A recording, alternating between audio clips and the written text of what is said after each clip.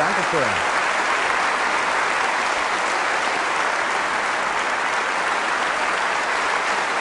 Herzlichen Dank.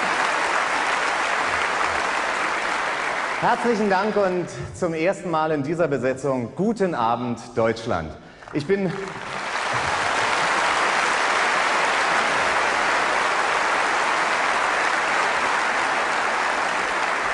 Ich bin, glaube ich, noch nie so eine riesige Showtreppe heruntergegangen. Ich wurde noch nie so nett durch eine Gasse geführt wie hier.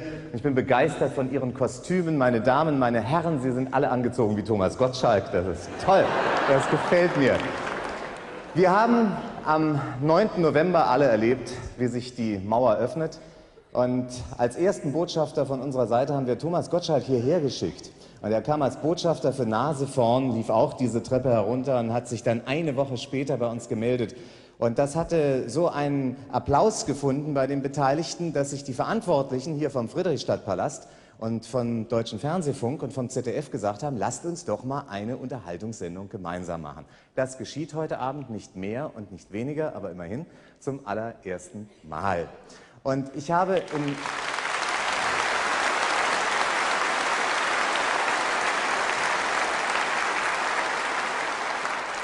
Ich habe in meinen Sendungen eigentlich immer die Zuschauer aus der DDR begrüßt am Anfang, aber dass ich das heute Abend von hier aus tun darf, Sie können sich gar nicht vorstellen, wie ich mich darauf gefreut habe. Wir, wir pendeln jetzt so seit zwei, drei Tagen immer von Ost nach West und West nach Ost und da, da fiel mir so eine alte griechische Weisheit ein, dass das Ganze immer mehr ist, als die Summe seiner Teile, oder nicht?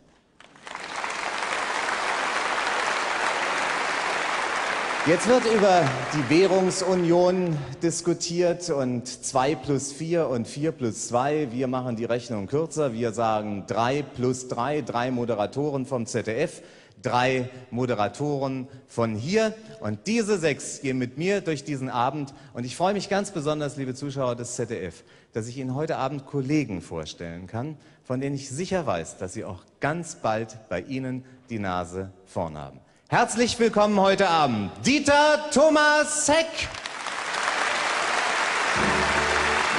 Wim Tölke, Hans-Joachim Wolfram,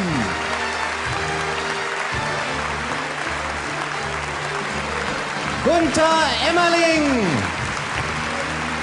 Thomas Gottschalk und Helga Hanemann.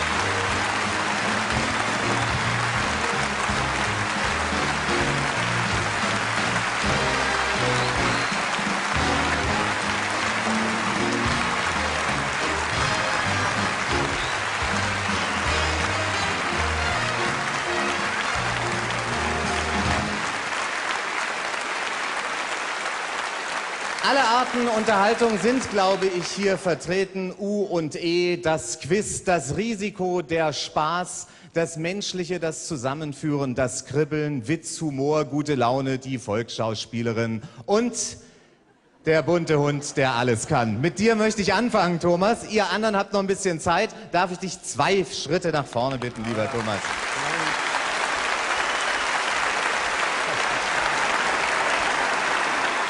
Deine Sendung beginnt immer damit, dass du ins Publikum gehst, Wetten vorliest und dann wird abgestimmt, wer macht bei dir den Schluss. Und wir haben uns gedacht, wir möchten so gerne auch einen Berliner Schluss hier in unserer Sendung haben und haben Wetten ausgesucht, in denen steckt Musik drin.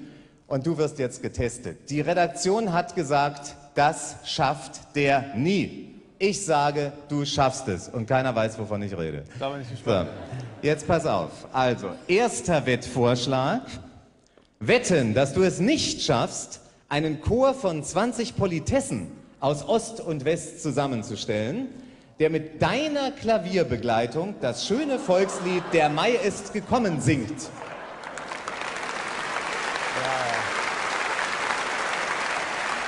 Nach dem Motto der großen Abendunterhaltung für jeden etwas. Auch der Opernfreund ist nicht vergessen. Eine Wette für den Opernfreund. Wetten, dass du es nicht schaffst, die Arie des Papageno Der Vogelfänger bin ich ja, aus Mozarts Zauberflöte, mit entsprechender Orchesterbegleitung, Kostümen und Dekorationen am Ende der Sendung auf dem Alexanderplatz aufzuführen. Ja, ja. Macht mich noch fertig. Ja. Du siehst, du wirst geliebt, was sich liebt, das neckt sich. Wetten, dass du es nicht schaffst, am Ende der Sendung mit einer bayerischen Blaskapelle auf dem Alexanderplatz zu stehen. Alle Musiker tragen Lederhosen, Knieschoner, Trachtenhüte. Du stehst an der Pauke und ihr spielt alle den bayerischen Defiliermarsch. Und der vierte Vorschlag, und damit auch der letzte, wetten, dass du es nicht schaffst, ein Kammerorchester im Frack zusammenzustellen, mit dem du als Dirigent am Ende der Sendung Mozarts kleine Nachtmusik aufführst. Oh. Liebe Fernsehzuschauer, dies ist nicht nur die erste Sendung dieser Art, sondern ich muss sagen, ich habe den Thomas seit vielen Jahren jetzt als Kollegen und kenne ihn. Ich habe dich noch nie so lange zuhören erlebt. Ja, und du. Ich danke dir sehr. Ich gebe dir diese vier Wetten und jetzt liegt es an dir. Mach daraus das Beste, mach uns ein Finale. Aber große Frage, was machst du, wenn du versagst? Ja, das sehe ich kommen. Also es ist ja, Wolfgang Amadeus rotiert im Grabe. Ich, na gut, ich werde es versuchen. Wenn ich es nicht schaffe und äh, die Chancen stehen gut, habe ich mir Folgendes überlegt. Äh, wenn man bisher nach Ostberlin gekommen ist, dann war das immer eine mühsame Geschichte. Und es gab also, glaube ich, auf der ganzen Welt keine größeren Miesepeter als die Knaben an der Grenze immer.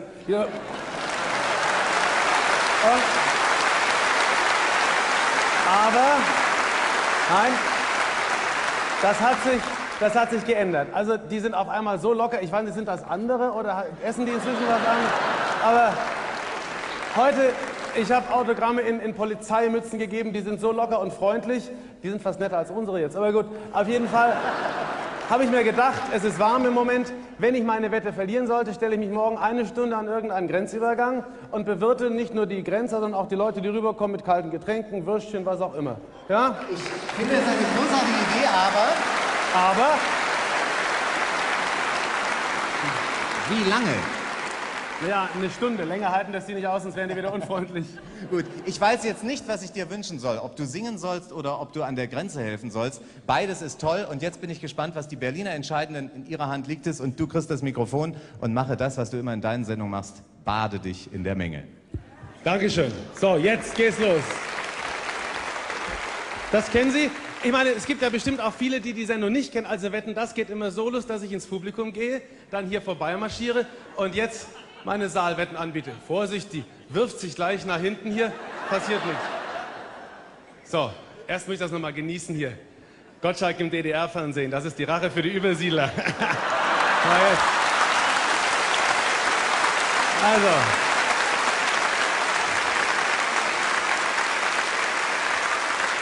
Es geht los.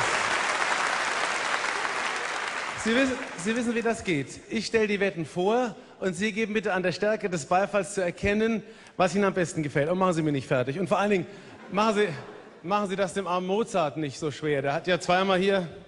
Also, das erste, das war der Chor. 20 Politessen, das sind die Damen, die immer die Zettel da an die Autos machen. Ist ja gut, wenn man die von der Straße holt, finde ich. Deswegen sollen die, sollen die ruhig singen. Also gut, der Mai ist gekommen mit Klavierbegleitung. Wenn es in C-Dur ist und mit zwei Fingern, dann kriegen wir das hin. Das wäre die erste Wette. Hören sich alle an und dann machen wir Beifall. Dann, oh, das ist mit dem Papageno, das ist ja Wahnsinn. Ich meine, das ist ja der Vogelfänger aus der Zauberflöte mit Orchesterbegleitung. Da bräuchte ich ja ganze Orchester auf dem Alexanderplatz und Kostüm natürlich und alles. Vogelfänger. Oh, das wird schwierig, das müsst ihr mir ersparen. Also die, die bayerische Blasmusik, ich meine, da müssen wir wahrscheinlich jetzt Berliner, die mit, mit äh, Lederhosen, es können auch Frauen in Lederhosen kommen, so ein bisschen. Aber nein, es sollten, es sollten richtige Knieschützer sein, Trachtenhüte und an der Pauke. Oh, Pauke ist in Ordnung. Also der, ist das der hier? Ist ein Bayer im Saale übrigens hier? Wow. Roberto! Aha. Mal, der bayerische Defiliermarsch ist doch der. Ist das der, ja? Gut. Dann machen wir den. Wer ist hier für die kleine Nachtmusik? Ich meine, das wäre natürlich so im, im, Nachthimmel unter Berlin, die kleine Nachtmusik, Männer in Frecken und, äh, und äh, wir dirigieren das dann und wir müssen das üben. Also Das kann, natürlich brauche ich dann eben, wie viele Musiker spielen da mit? Kleine Nachtmusik, kleines Nachtorchester, so 12 bis 15, 30, wie auch immer. Das ist also die Nachtmusikwette und dann haben wir, das sind die vier. So, also Nachtmusik, Defiliermarsch, Papageno oder aber die Politessen. So, fangen wir von hinten an. Wer ist für die Politessen? Ja. Mhm. Gut. Mittellange Begeisterung, ja. Ein Papageno. Ist niemand. Nein, nein, nein. Wer ist. Wer ist. Aufhören! Wer. Wer ist für den bayerischen Defiliermarsch? Hätten sie Preußens Lawyer genommen, dann wäre was los hier. Kleine Nachtmusik, das, ja, guck mal, die.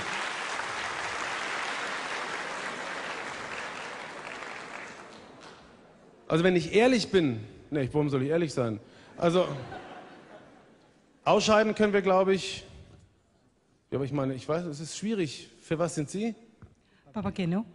Ach was. Würden Sie, die, wenn Sie die Papagena machen? Nee, also ich habe leider den Eindruck, mit der Blasmusik, das war nicht hier mit dem Bayerischen Defiliermarsch, den scheiden wir aus, das kriegen Sie als Andenken hier, bitteschön. Dann mit der, was ist mit der Nachtmusik, das wäre schön, aber wieder kein Sinn für Kultur. Und ich krieg dann wieder Prügel. Bei der Papagena mache ich fertig, also dirigieren, da kann ich nicht viel falsch machen, aber Nachtmusik erledigt. Oh, oh. Bitteschön als Andenken. So, was haben Sie denn gemacht hier? Oder halten Sie Ihr Bein ins Bild, damit man Sie zu Hause erkennt? Nee. Gibt's? Noch nicht. Noch nicht. Aber geht bald los, oder wie? Alles gewickelt, ganz vorsichtig. Aber das Bein ist gut im Bild. Aber jetzt. Politessen oder Papageno? 20 Politessen, ein herrliches Bild. In, wir sind eure grau wahrscheinlich, oder wie? Was für eine Farbe, was, was für ein Kostüm? Nee, DDR, die haben die meistens, oder? Grau oder blau? Blau. Blau, blaugrau, taubengrau. Unsere sind auch so grau, blau, grün, blass, aber. 20 Politessen, also Ost und West mindestens 20, singen Der Mai ist gekommen. Kann da einer einen Text? Wer kann heute noch Der Mai ist gekommen? Die Bäume schlagen aus.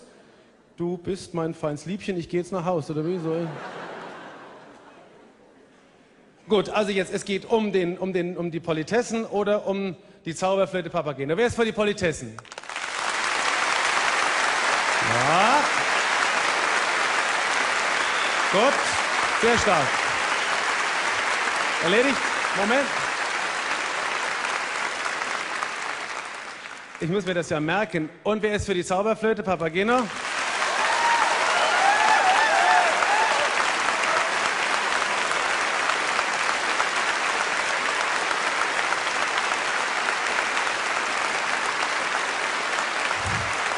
Gut, erledigt, erledigt, erledigt. Gut. Wir erleben eine furchtbare Freilichtaufführung heute Abend auf dem Alexanderplatz. Jetzt der Aufruf. Also, ich glaube, Zauberflöte, oder? Es ist, ja? Oh Mann. Also, dann bräuchten wir jetzt, ich gehe jetzt sofort los. Wir bräuchten das gesamte Orchester der Berliner Oper, also Ost oder West ist egal, Streicher, alles. Dann brauchen wir Noten, Notenständer, eine Dekoration Zauberflöte bitte, dann ein Pap äh, Kostüm Papageno Größe XL, dann eine Pfeife und einen Dirigenten, einen, einen, also so einen, einen Gesangslehrer, der in einer Stunde ein bisschen was hinkriegt und äh, Stühle fürs Orchester, Notenständer. Ja, ihr könnt mal losgehen, ihr könnt schon mal losgehen. Ich hau ab, ich melde mich live am Alexandersplatz. Es wird furchtbar bedanke, bedanke mich und am Ende der Sendung sehen wir uns wieder. Aber ihr habt's gewollt.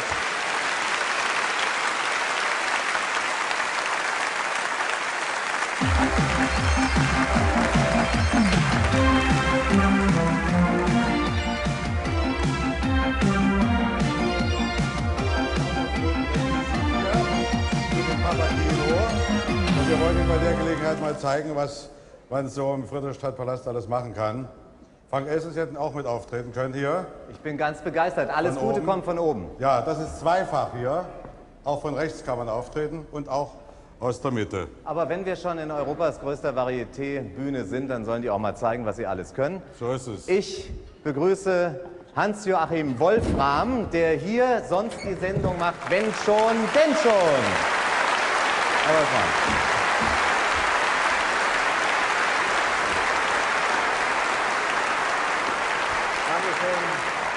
Dankeschön. Ihre Zuschauer hier wissen natürlich ganz genau, wer Sie sind. Den Zuschauern des ZDF möchte ich sagen, Hans-Joachim Wolfram steht so mehr für die journalistische Unterhaltung. Er interessiert sich im Dialog mit den Zuschauern, mit ihnen neugierig Spiele zu machen, äh, mit ihnen Ereignisse zu feiern und hat sich bestimmt was Schönes für heute ausgedacht.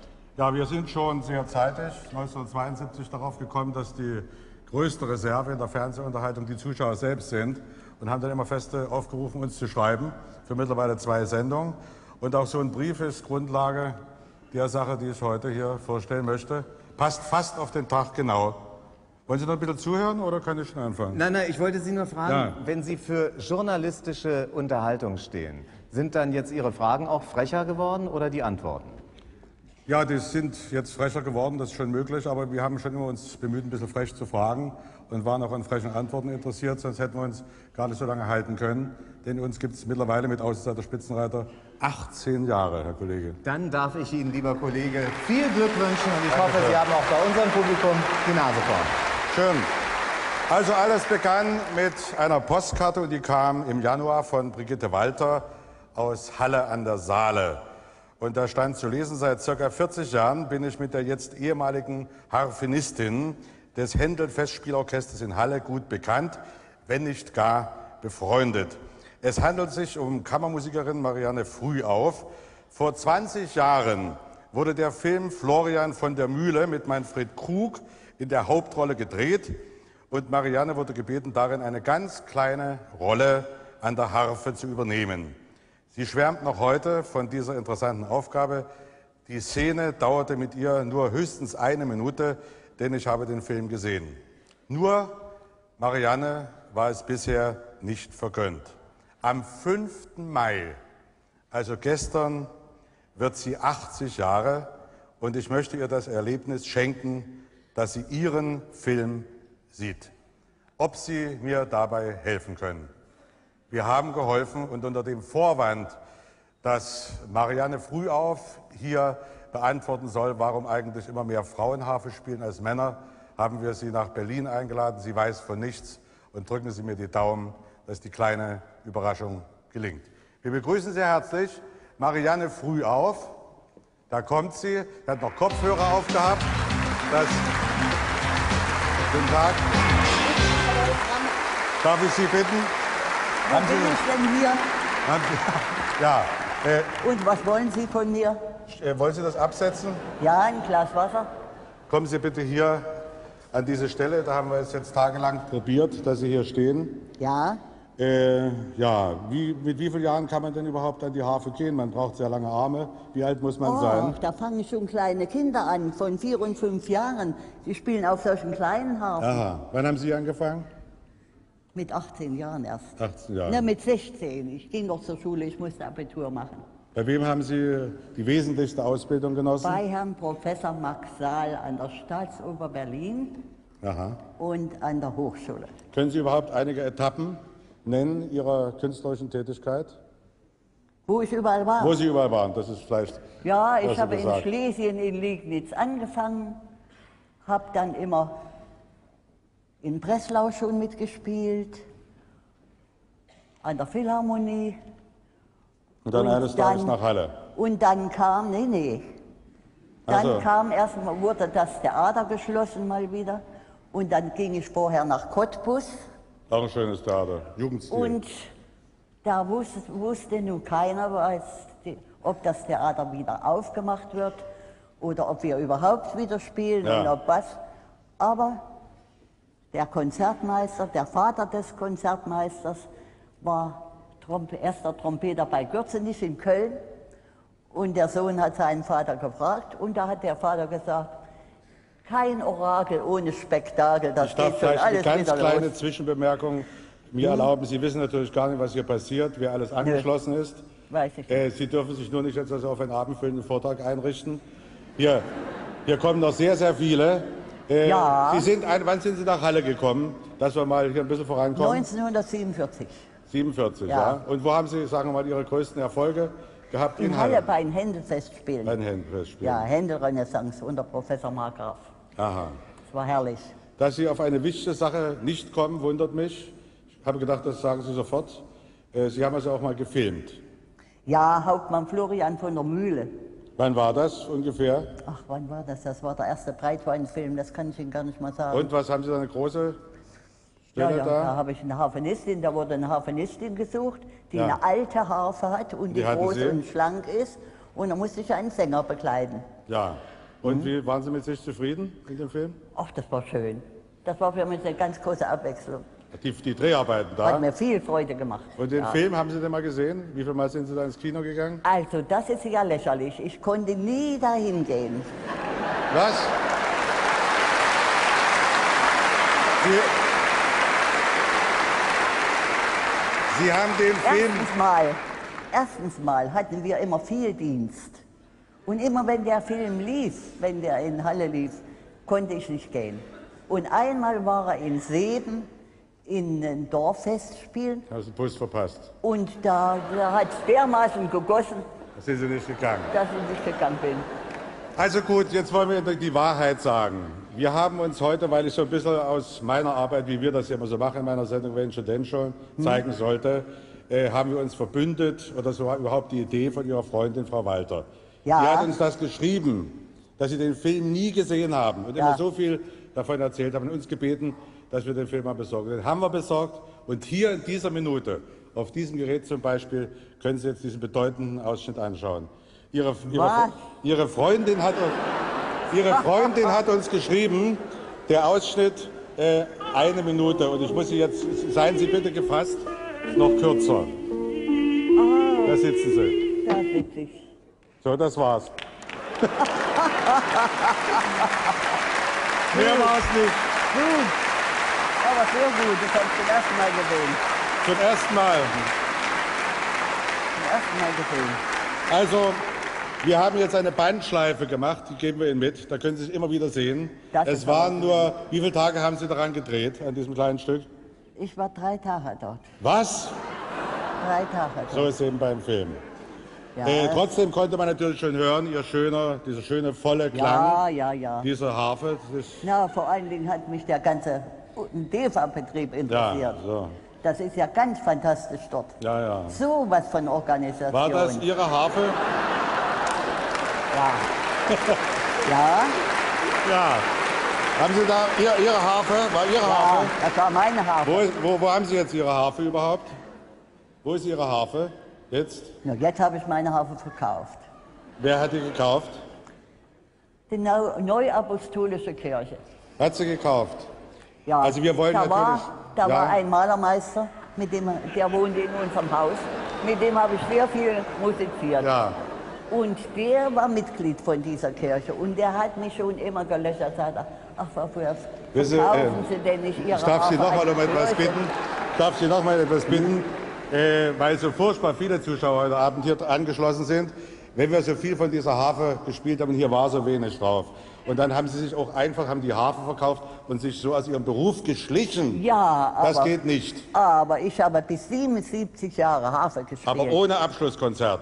Und das findet heute hier statt. Wir haben uns Ihre Harfe noch einmal ausgeborgt. Wenn ich mal bitten darf, von der Neue Apostolischen Kirche.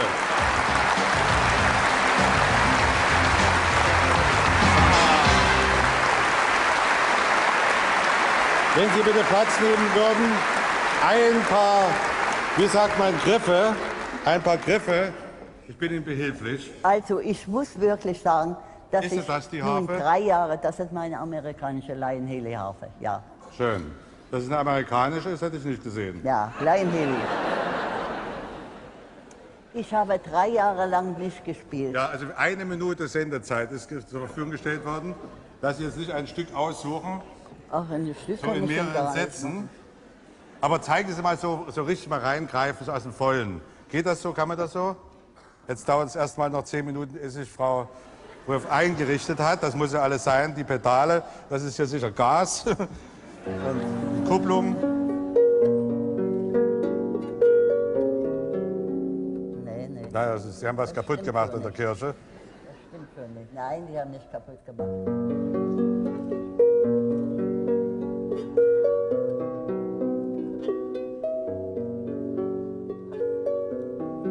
Liebe Fernsehzuschauer, wir erleben in diesem Augenblick aus dem Friedrichstadtpalast zu Berlin das Abschiedskonzert von Marianne Frühauf, was in diesem Augenblick zu Ende geht. Darf ich Sie bitten? Kommen Sie wieder, danke.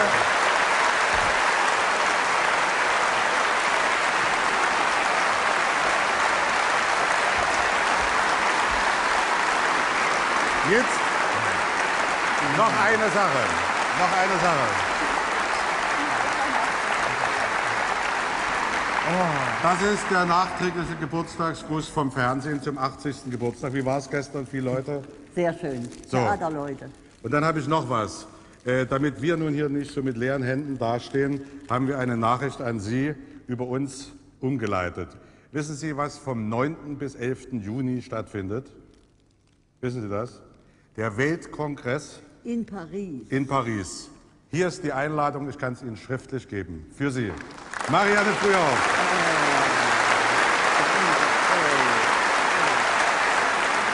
Dann will ich Sie noch mal sehen, so. Wiedersehen.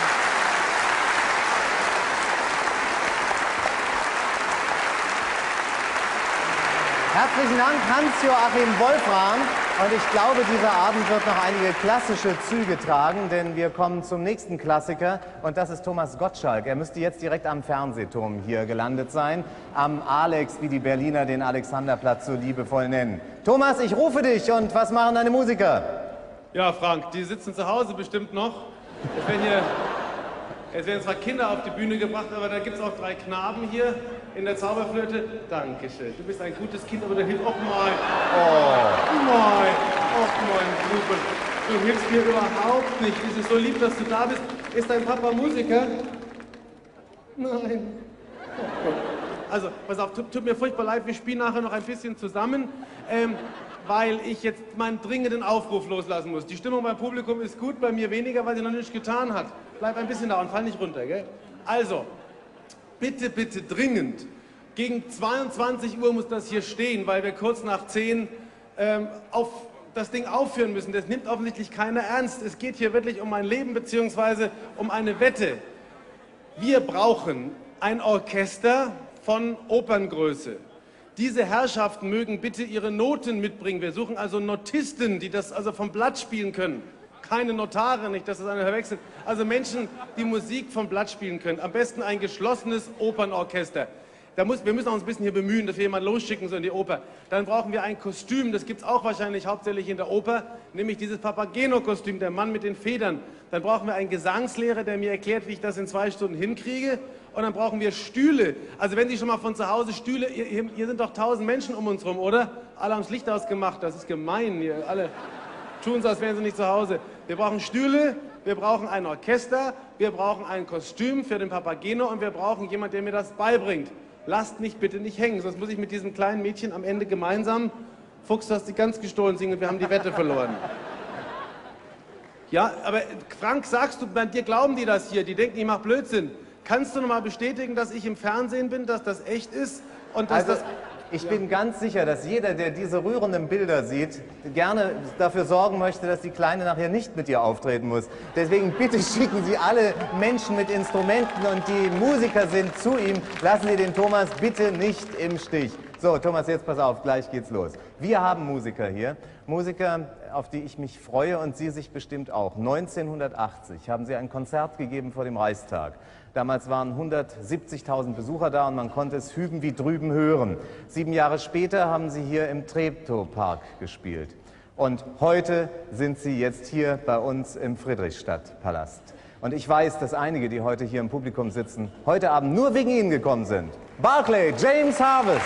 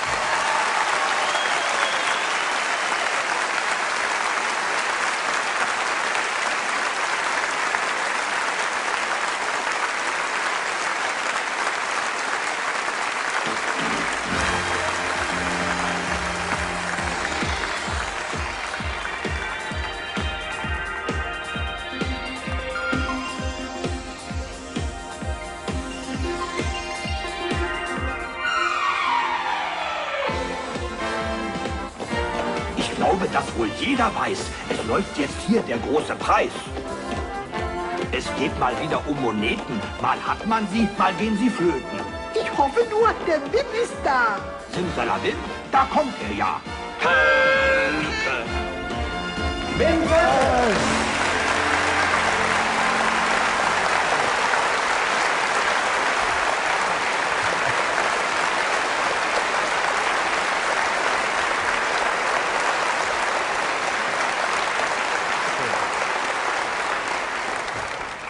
Wim, du machst im ZDF die Sendung, die am längsten läuft von den großen Unterhaltungssendungen, der große Preis. Und du sorgst nicht nur für Unterhaltung, sondern auch für Unterhalt. Was haben sich denn Wim, Wum und Wendelin ausgedacht für den Unterhalt für die Sorgenkinder hier? Naja, Sie werden also sicherlich auch hier helfen. Ich kann Ihnen jetzt schon mal sagen, dass das Kuratorium der Aktion Sorgenkind beschlossen hat, selbstverständlich auch Sorgenkindern und Behinderten in der DDR zu helfen. Das wird in diesem Jahr sicherlich noch beginnen. Und ich hoffe,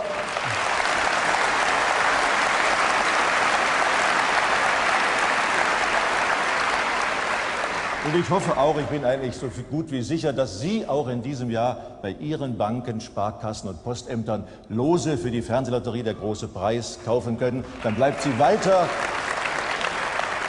Ganz lieb sind Sie alle hier. Es ist eine unheimliche Stimmung. Nicht? Ich habe immer mal geträumt davon, im Friedrichstadtpalast aufzutreten. Also der Stimmung nach müssen hier 10.000 Menschen sein. Nicht?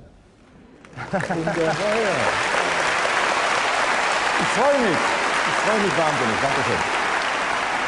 Was für dich ja mit einer Sendung, die so von guten Kandidaten auch lebt, sehr wichtig ist, dass du ein großes Reservoir dazu bekommen hast. Und jetzt erleben wir ein Stück Original Großer Preis mit Wim Tölke. Ja, also wenn man, wenn man als Quizmaster so ganz allein da steht, ist man natürlich einsam und verlassen. Aber ich habe Kandidaten, sogar Kandidatinnen. Die eine ist beim Fernsehen der DDR beschäftigt. Sie macht viele unterschiedliche Sachen. Sie ist schön, schick, charmant, apart, intelligent und zuverlässig. Sie hat eine eigene Sendung seit dem vergangenen Jahr. Die Sendung hat den Titel Sprungbrett. Sie selbst ist im vergangenen Jahr zum Fernsehliebling des Jahres gewählt worden. Guten Abend, Carmen Nebel.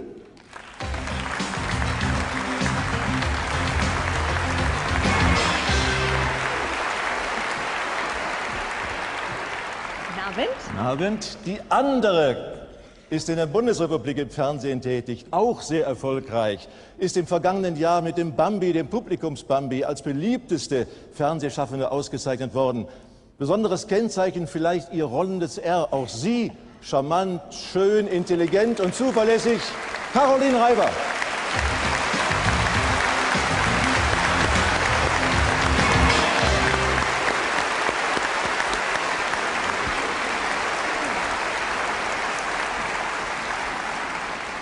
So, nun wollen die Zuschauer in der Bundesrepublik ganz gewiss was über Carmen Nebel erfahren. Was kann man da erzählen, Carmen? Also ich roll nicht mit dem R, aber ich kann dafür andere Sachen. Ich komme aus der Gegend von Leipzig, Grimma, und jeder hier weiß, das ist das schöne Sachsen, aber das mache ich jetzt lieber nicht vor. Ihr könnt dann sächsisch habe ich, sprechen, ja? Na klar, ei, freilich. Ne? Ja, und dann habe ich in Berlin studiert, bin eigentlich Lehrerin, das habe ich fünf Jahre gemacht und ja, seit nunmehr elf Jahren bin ich beim Fernsehen, Ansagerin und die eigene Sendung, die hatten Sie ja schon genannt.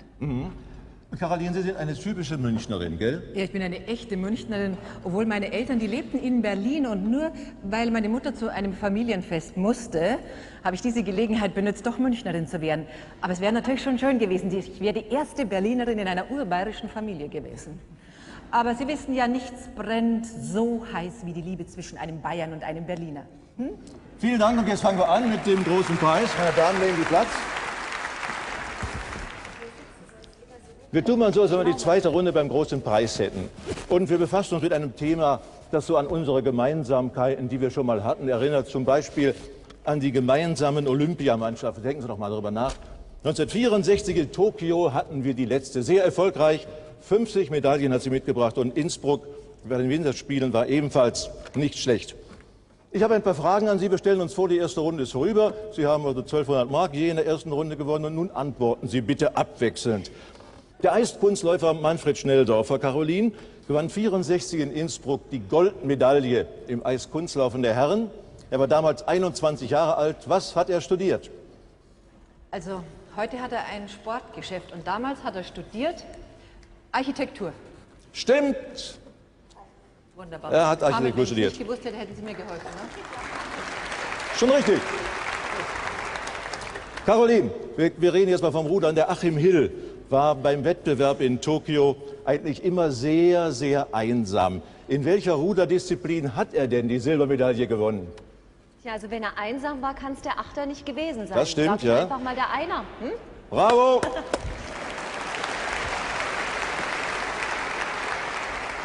Also ihr alle kennen sicher ja noch das Eiskunstlaufpaar Marika Kilius, Hans-Jürgen Bäumler. Das waren Weltstars in den 60er Jahren. Und es waren nicht nur Weltstars auf dem Eis, sie waren auch Stars als Schlagerduo. Wollen Sie sie doch mal singen hören, ja? Na klar, bitte sehr. Marika Kilius, Hans-Jürgen Bäumler.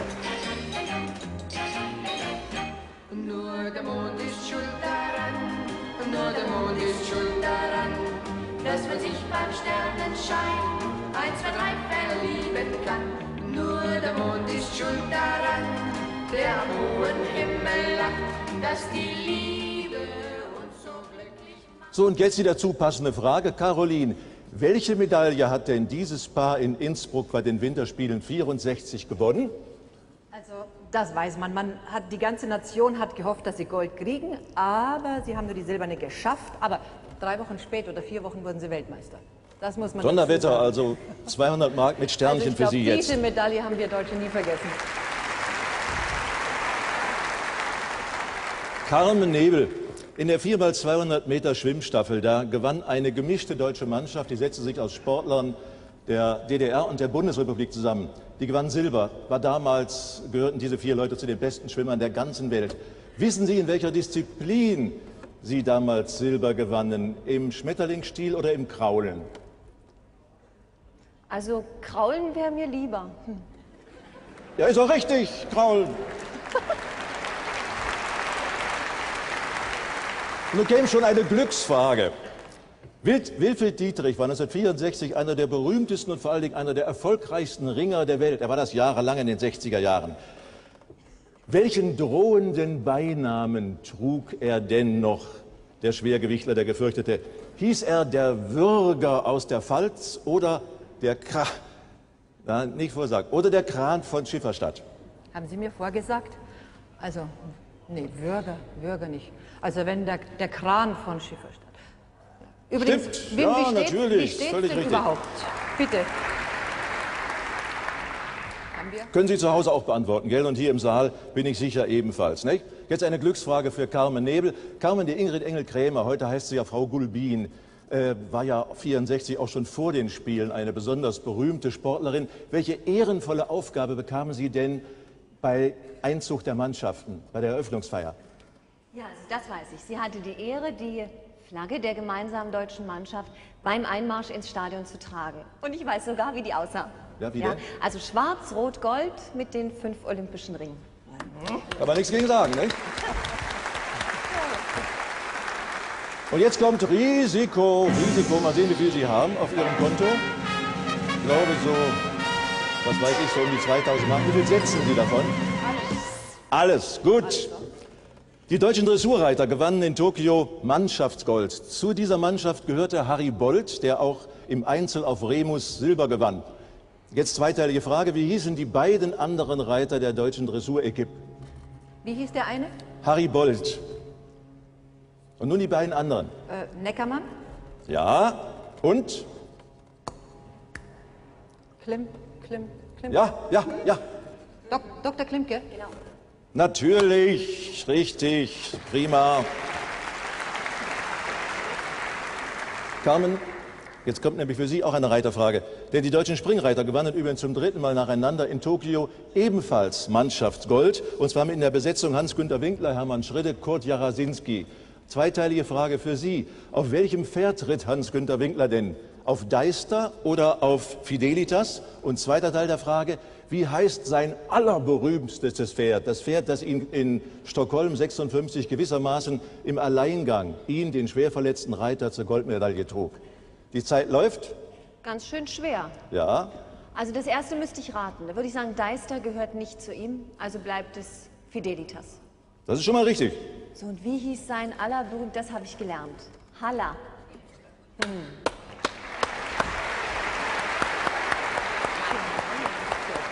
Unser kurzes Quiz ist bereits zu Ende. Die beiden Damen haben je 4.200 Mark. Wie schön.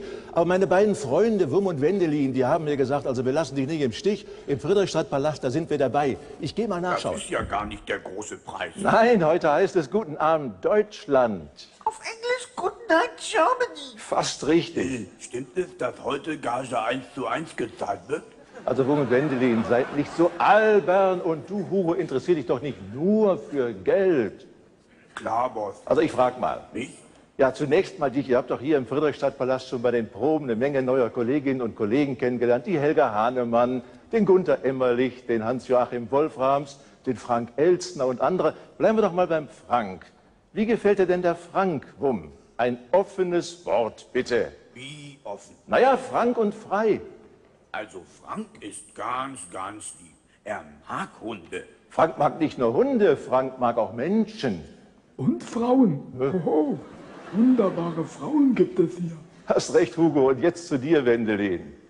Mich was zu Thomas Gottschalk. Gut. Der Thomas ist auch ein ganz, ganz lieber Mensch. Er ist immer nach der neuesten Hundemode gekleidet. Was sind das denn für Formulierungen? Was doch gar nicht dran. Wendelin, sag mal, hast du dir schon mal Gedanken über meinen Kollegen Dieter Thomas Heck gemacht? Hm?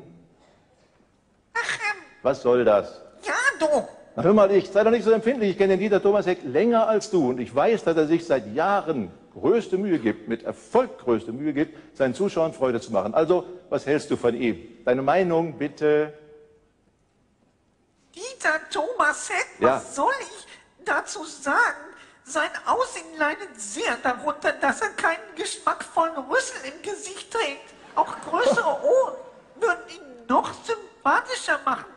Leute mit großen Ohren sind nämlich sehr beliebt. Also ich weiß nicht, stimmt das, Hugo? Vor allem bei Frauen. Wunderbare Frauen gibt's hier. Frauen zum Träumen. Also träum weiter, Hugo. Ich bin froh, dass wenigstens alle Showmaster Gnade vor euren Augen gefunden haben.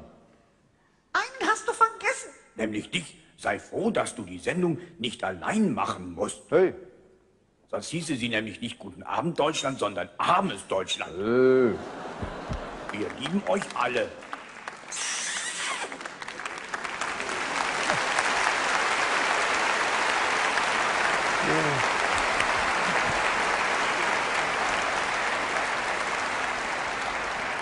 Ja, und Wendelin freuen sich natürlich auch über Ihren Applaus. Vielen herzlichen Dank. Meine Damen, Sie haben je 4.200 Mark gewonnen. Soll ich es gleich auszahlen? Oder? Nein, das wollen wir gar nicht haben, aber wir freuen uns beide, dass wir beide das gewonnen haben. Unsere größte Angst war, einer von uns könnte verlieren. Ja, das war jetzt hier eins zu eins. Das hört man ja Und gerne. wir haben gesagt, wir sind das erste deutsch-deutsche weibliche Duo.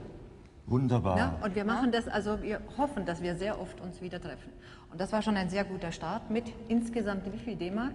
Also je 4.200 zusammen 8.400. Toll. Und Was machen wir damit? Also wir geben es nicht aus, wir wollen Einen es guten einem Zweck. guten Zweck zur Verfügung stellen. Und welchen, das bereden wir nachher. Aber klar, wird herzlich gerne angenommen. Welcher soziale Zweck in Frage kommt, das erfahren Sie noch im Verlauf der Sendung, meine Damen und Herren. Ich bedanke mich herzlich bei Caroline Reiber Vielen Dank. und Carmen Nebel.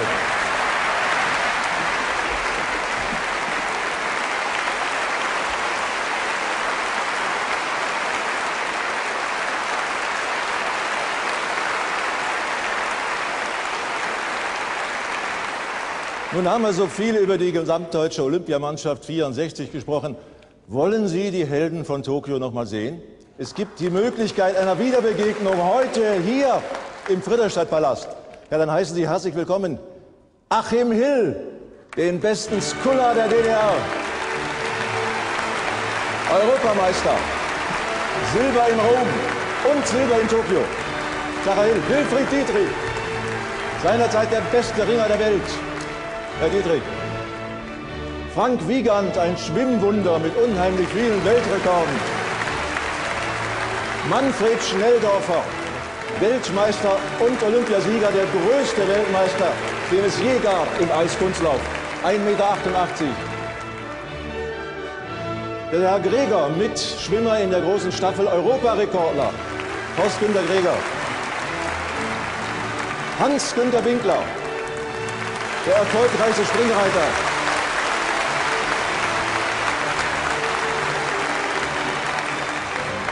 Ingrid Engel, jetzt Frau Gulbin. Ein Wunder vom Brett und vom Turm. Der mit Abstand erfolgreichste Dressurreiter der Welt, Dr. Rainer Klimke.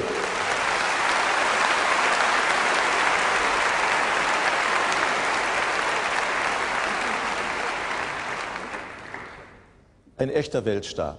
Und ein prima Kumpel, Marika Gilius.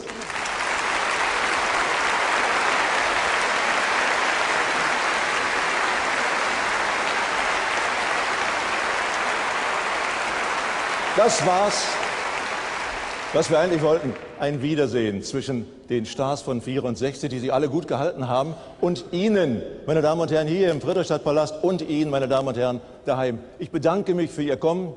Wiederschauen. Herr Wiegand und Herr Gregor, wenn Sie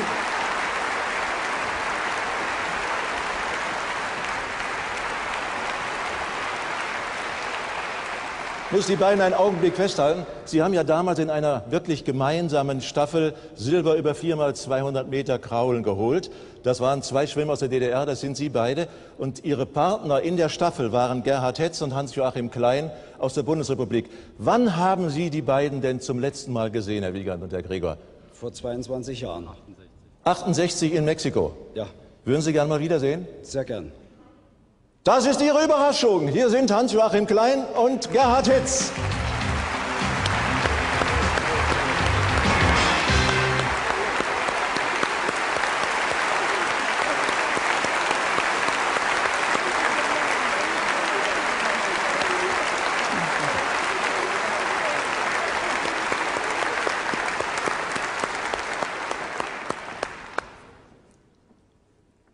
Wir wollen die Rührung nicht stören. Sie können jetzt über Ihre Erfahrungen, Ihre Erlebnisse berichten, Herr Hetz, Herr Klein, und der Frank macht weiter. Vielen Dank. Herzlichen Dank, Wim Kölke.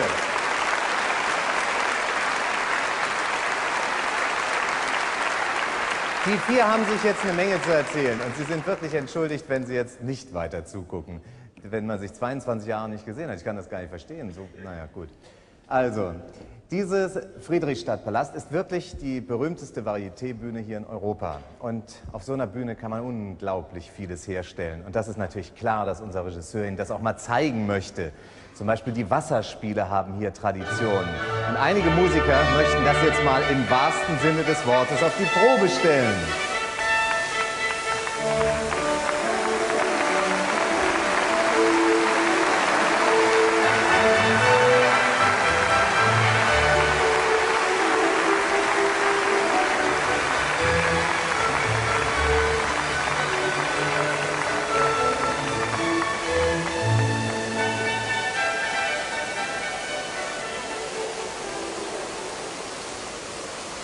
Und damit Sie wissen, was wir meinen, stelle ich Ihnen hier vor die Mitglieder des Frankfurter Unterwasserblasorchesters.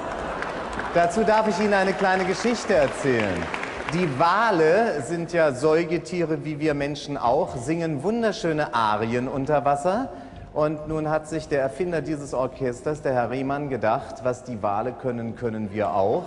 Auch wir möchten jetzt einmal zu einigen Musiktönen im Wasser greifen. Wir wissen immer noch nicht, liebe Zuschauer, möchten die uns auf den Arm nehmen oder meinen sie es ernst? Aber jeder, der schon einmal unter Wasser Trompete gespielt hat, sagt, es sei ein besonders hohes Erlebnis, ein Empfindungserlebnis. Und Sie können ja zu Hause demnächst mal in der Badewanne anfangen. Alle Blechbläser, die sich das jetzt angucken, werden Verständnis dafür werben, dass sie es demnächst einmal dann auch in den Freibädern probieren dürfen. Wir hören zwei Titel von diesem Frankfurter Unterwasserblasorchester und zwar, was dazu natürlich passt, Yellow Submarine. Und wir beginnen nicht mit am Brunnen, sondern im Brunnen vor dem Tore, das Frankfurter Unterwasserblasorchester. Bitte schön, meine Herren.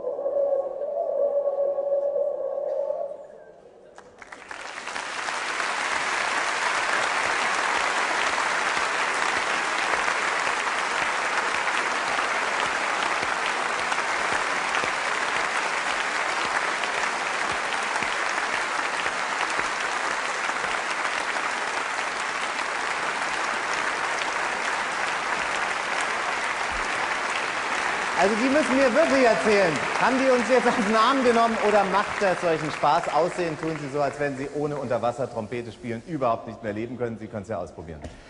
Der Thomas Gottschalk wird es schwer haben nach dieser musikalischen Darbietung. Was ist los am Alexanderplatz? Hallo Thomas! Wir sind. Ja.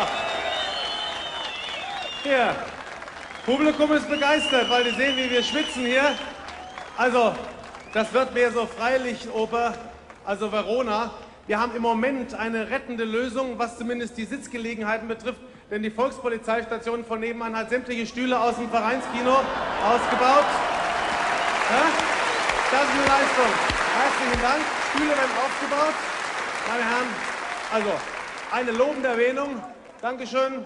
Wunderbar. Dankeschön. Aber das rettet mich noch nicht. Oh, jetzt gehen die Lichter aus am Alexandersplatz. Wer hat den Stecker rausgezogen? Das macht die Sache noch spannender. Wir brauchen nämlich, also wir sind das ehrlich hier, wir brauchen, wir sparen den Strom für nachher. Was uns noch fehlt, ist dieses Papagena-Pfeifchen, dieses ohne das läuft gar nichts. Einen Dirigenten, einen Dirigenten habe ich, den man im dunklen Fach jetzt aber nicht erkennt. Sie sind in der Lage, die Partitur theoretisch zu dirigieren. Auch praktisch. Gut. Es ist Gott sei Dank, wie ich gesehen habe, nur mit einem, mit einem Fiss. Also der Mozart hat sich leicht gemacht. In, in, das Ganze ist in? In G-Dur. In G-Dur. Dann geht das Lied mit G los. So, jetzt äh, haben wir, die Streichergruppe ist relativ gut besetzt. Eine Bratsche, mehrere Geigen, es, ein Cello. Was fehlt uns noch, Herr äh, Ministerialbeauftragter? Diri Dirigent, Ministerialdirigent. Eigentlich, nee, ganz so nicht. Eigentlich fehlt uns noch ein Kontrabass. Ein Kontrabass, bitte? Vielleicht noch eine Flöte und dann die Papageno-Flöte. Aber wir haben eine Blockflöte, das wäre der günstige Ersatz. Gut, Blockflöte im Notfall. Uns fehlen noch jegliche Ausstattungen für die Oper. Also im Moment ist noch ein bisschen mager. Wir haben zwei Blumen und drei Palmen hier. Aber wir sind bereits unterwegs zur Oper. Thomas, du kannst dich an deine allerbeste Zeit beim Bayerischen Rundfunk erinnern. Mach doch schnell mal eine Rundfunkreportage. Bei dir ist nämlich ein Scheinwerfer ausgefallen. Nicht einer, alle. Jetzt die Leitung schon weg, schade. Wir schalten gleich wieder zu ihm hin. So, dann So, möchte ich Ihnen jetzt also, die nächste jetzt Künstlerin vorstellen. Eine Künstlerin, die für das Komödiantische steht in der Unterhaltung. Und Sie selber wissen hier, im DDR-Fernsehen ist die erfolgreichste Sendung, was die Publikumsbindung betrifft, die Sendung Ein Kessel Buntes.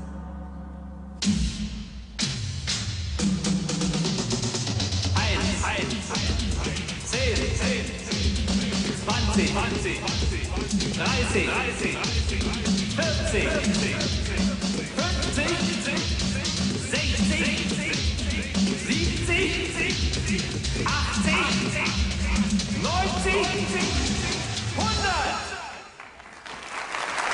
Helga Hahnemann!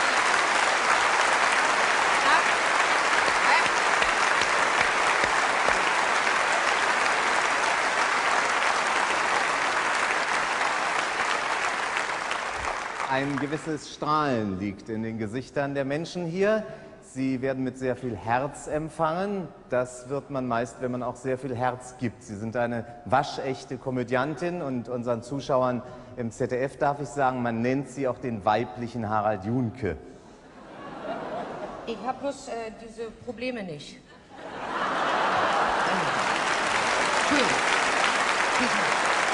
Helga, Schneiden wir raus. da ich mit Harald befreundet bin, darf ich Ihnen versichern, er hat sie auch nicht. Das ist doch wunderbar. Gut. Ist doch gut. So, äh, Sie haben die hundertste Sendung gemacht, ein Kessel Buntes, aber ist, das Besondere an der Sendung ist, dass fast jede Sendung von einem anderen Moderator gemacht Ja, wird. Schauspieler, Sänger, Nachrichtensprecher, Ansagerin. Hm? Und Sie können so viel. Von Ihnen gibt es Schallplatten, Sie können singen, tanzen, lustig sein.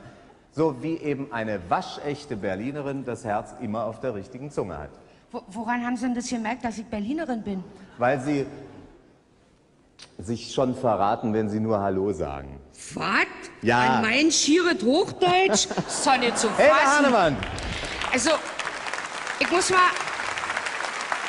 Ich muss mal für die Neuen was sagen, ja? Hallo Fans, ihr habt doch mal Angst vor unserer großen Klappe. Mensch, die brauchen wir da auch. Schließlich tragen wir unser großes Herz auf der Zunge, war ey? Ansonsten sind wir Berliner ganz normale Verrückte. Und das Niedlichste von Berlin sind die Jüren, weil sie so gut erzogen sind. Die Einzigen, die das nicht glauben, sind die Nachbarn, weil die mehr ein Herz für ihren Rasen haben. Was heißt der Berliner Jörn sind frech wie Rotz, alles Spinne, eh. Wie kleine Engelchen sitzen sie bis Sendeschluss vor der Röhre. obwohl Papa und Mama schon längst im Bett gegangen sind. Aber das Schönste von Berlin sind wir Frauen. Der Mann, der so eine abkriegt, kann sie gratulieren. Wenn sie richtig gut mit ihm meint, lebt sie einfach länger als wir. Dann besucht sie ihn vormittags mit die Gießkanne auf dem Friedhof und nachmittags schreibt sie auf Heiratsannoncen. Ey, was heißt hier, wir Berlinerinnen sind schnippisch, wir können alles vertragen. Bloß keine Widerworte. Hundertmal hab ich Berlin verflucht. Hundertmal weit weg mein Glück gesucht. Hundertmal geheult, du machst mich krank. Hundertmal gebetet, Gott sei Dank. Hundertmal gesagt, mit ihr ist Schluss. Hundertmal kam ich von dir nicht los. Hundert Pillen hauen da jeden nicht hin. Jetzt sitzt hier drin. Aber das Allerschönste von Berlin ist, dass die olle Mauer nur endlich in Stücke zerhackt wird und als Berlin-Souvenir in eine Schrankwand verschwindet. Und da tut's auch keinem mehr weh. Und nachdem wir DDR-Bürger 28 Jahre lang ganz brav inmitten von unserer schönen Wirtschaft sesshaft waren, ist das Zigeunerblut in uns durchgebrochen. Mama in Europazentner und Papa in Sexshop. Aber das Allerwichtigste ist, dass die Menschen sich wieder Nachbarn nennen. Und dass der Weg durch die Mauer hoffentlich nicht nur bis zum nächsten Kaufhaus reicht, sondern weiterführt bis zum Frieden auf Erden. Ha? Hundertmal hab ich Berlin verflucht. Hundertmal Hundertmal geheult, du machst mich krank. Hundertmal gebetet, Gott sei Dank. Hundertmal gesagt, mit dir ist Schluss. Hundertmal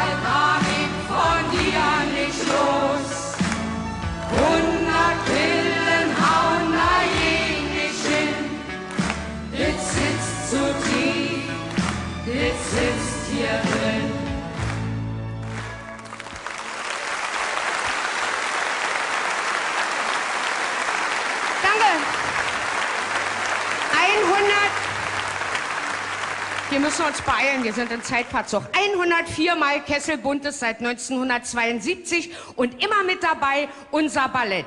Entweder unser Wahnsinns-Fernsehballett oder dieses berühmte Hausballett, was wir gleich sehen werden mit der Hausmarke, nämlich dem Girl-Tanz. Kinder, seid nicht sauer, ich tanze diesmal nicht mit.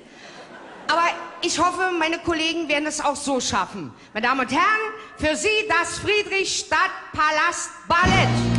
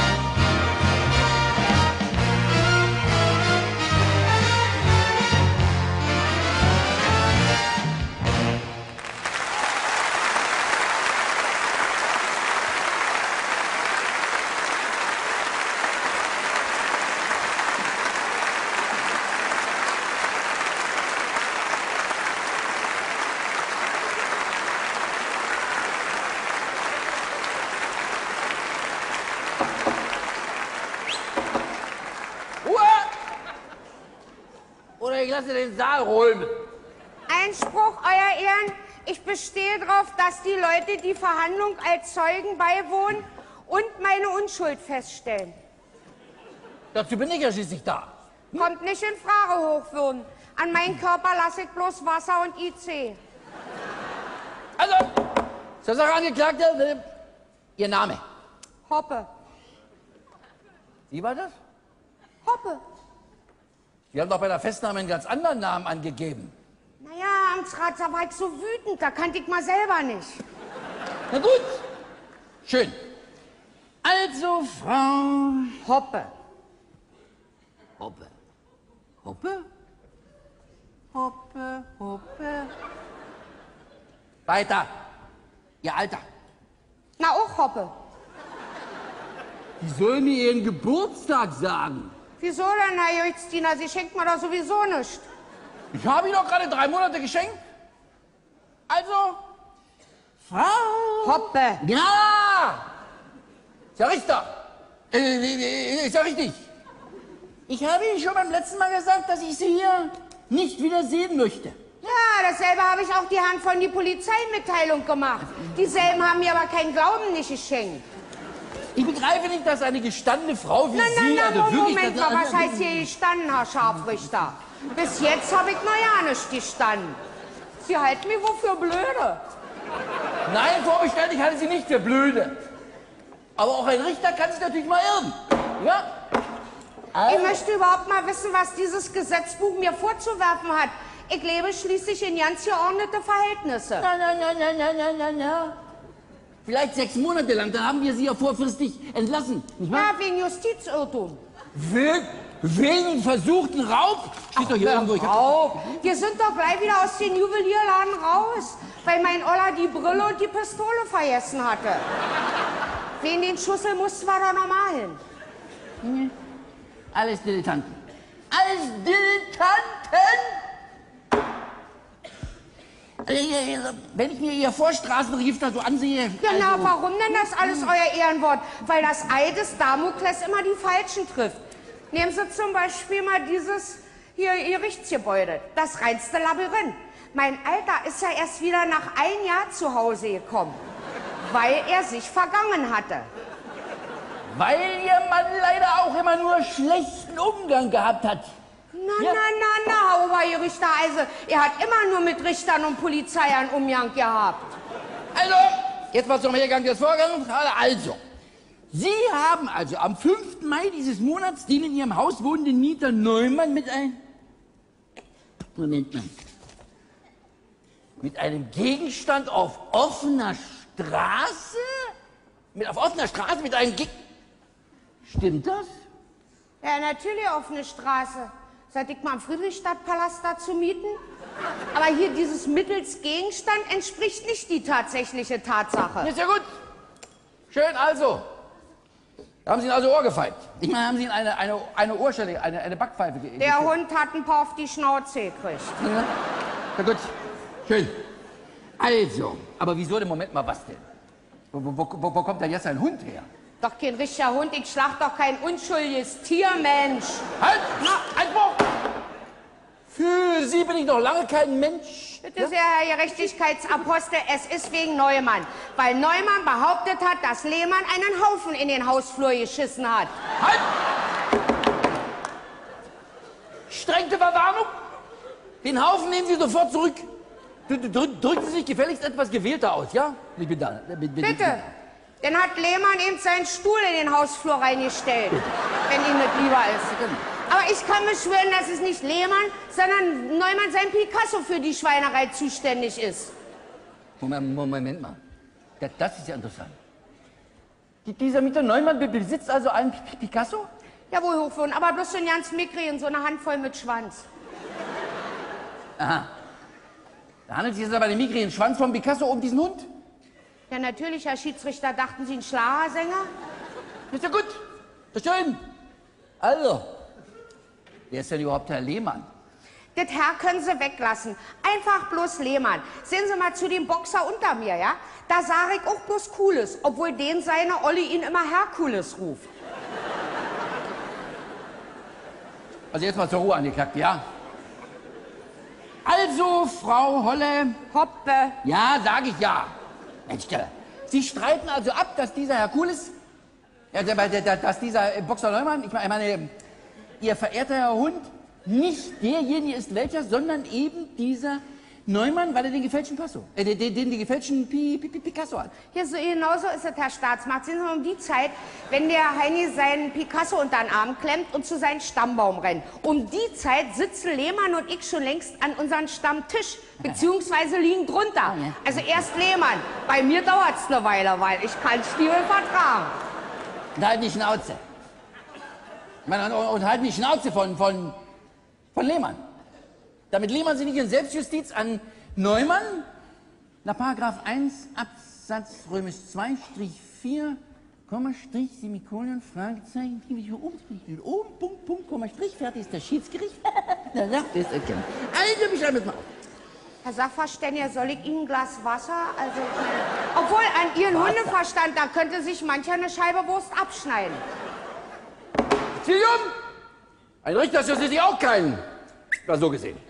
Also, äh, habe ich doch gelesen, dass Sie außerdem unter Einwirkung von Alkohol standen. Hab- Das ist eine Hier ganz ist- infame Injurie. Schön, ich hatte Erbsen zum Mittag. Na, halt so ein Verteiler. Ich hab Ihnen mal einen Schluck, wenn Sie mal kosten von dem... Ähm, Keine Bestechung unter Ausschluss der Öffentlichkeit. Ich requiriere mal dieses Corpus Delicati. Hohes Gericht, Herr, Herr Ober. Ja, bitte, Se- bitte. Sehen Sie mal, ich meine, wenn Sie wollen, gebe ich zu, dass ich besoffen war. Aber Einfluss unter Einwirkung von Alkohol auf gar keinen Fall. Gut. Also, ergo, Frau Reiter. Hoppe. Frau Hoppe, Hoppe. Wir kommen dann zur Urteilsverkündigung. Damit werden Sie nicht sieben Tage einsitzen, sondern nur eine Woche.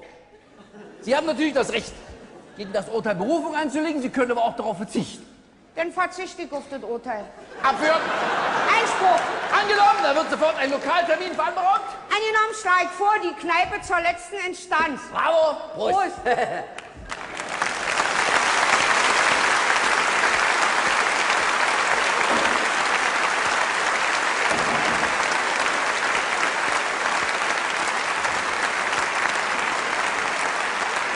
Der Partner von Helga Hahnemann war Alfred Müller. So, jetzt wollen wir mal gucken, wie geht es mit Thomas Gottschalk weiter. Gibt es einen Papagé oder einen Papageno? Wie sieht's aus? Was macht der Alexanderplatz? Der Alexanderplatz tot. Also, wenn ich, wenn ich die Fischerchöre dirigieren müsste, hätte ich schon gewonnen. Aber leider könnt ihr mir da unten nur zujubeln oder nicht helfen. Das Orchester sieht gut aus. Es sieht sogar sehr groß und würdig aus. Darf ich mal um den Kammerton A bitten, vielleicht, damit wir sehen, ob wir bereits in eine Richtung. Es geht ein bisschen in die Mantovani-Richtung, weil wir 80 Geigen haben und noch kaum Bläser, aber es wird, es wird eine schöne, große Stimmung hier auf dem Alexanderplatz. Familienväter haben ihren Fernsehsessel verlassen, haben ihre Stühle gekennzeichnet. Dieser Stuhl gehört in die Wohnung von Bodo Müller. Herr Müller, Sie kriegen ihn zurück, wenn er verloren gehen sollte. Ein besonderer Dank, bitte stellen Sie ihn auf, dass die Musiker Platz nehmen können. Ein besonderer Dank an den, Sie sind was von Beruf? Chefankleider in der Staatsoper Berlin. Und er hat ein Papageno-Kostüm auf dem, auf dem Arme. Wir können auch ein Sarastro noch mit einkleiden. Wir werden ein bisschen hier was. Das ist der berühmte, der ist aus dem, aus dem Vogelhändler, ist egal, oder? Ich meine Papageno, Hauptsache. Außer Zauberflöte, Original. Die, die Flöte ist noch ein bisschen also Vorkriegsmodell, aber vielleicht kriegen wir, kriegen wir noch die elegante von dem, von dem, von dem Panflöter. So, ihr habt's eilig dort, ich sehe schon. Wir sind beim Üben, ja, wir sind bereits beim zweiten Takt. Alles klar. Kollegen werden ruhig. Und wir ziehen uns noch ein bisschen nett an für nachher, ja, die Krawatte von zu Hause und so. Frank, wir sind soweit, beziehungsweise wir arbeiten an der Sache. Die Zauberflöte, hier das Originalmanuskript von Wolfgang. Guck mal. Dankeschön, sehr nett, Dankeschön. Gell? Also meldet euch wieder, wenn ihr soweit seid. Wir, wir üben. Alles klar, Dankeschön, Thomas. Und ich möchte alle Bläser und Blechinstrumentspieler darum bitten, jetzt wieder aus der Badewanne rauszugehen. Bitte gehen Sie doch zum Thomas auf den Alexanderplatz, damit es wirklich nicht nur Streicher sind. Wir haben für Musik gesorgt und unsere Musik steht parat hier. Ein Sänger, der schon oft Konzerte gegeben hat in der DDR und seine neuen Tourneedaten habe ich mir extra aufgeschrieben. Am 11. Juni wird er im Zentralstadion in Leipzig sein, am 13. Juni im Ostseestadion in Rostock und heute im Friedrichstadtpalast in Berlin Hier ist Peter Maffay.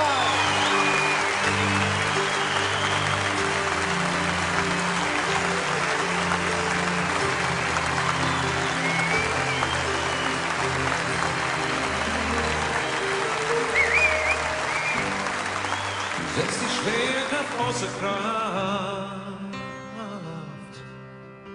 Holst mein Herz noch aus dem tiefsten Tief heraus. Entflammt von deiner Leidenschaft,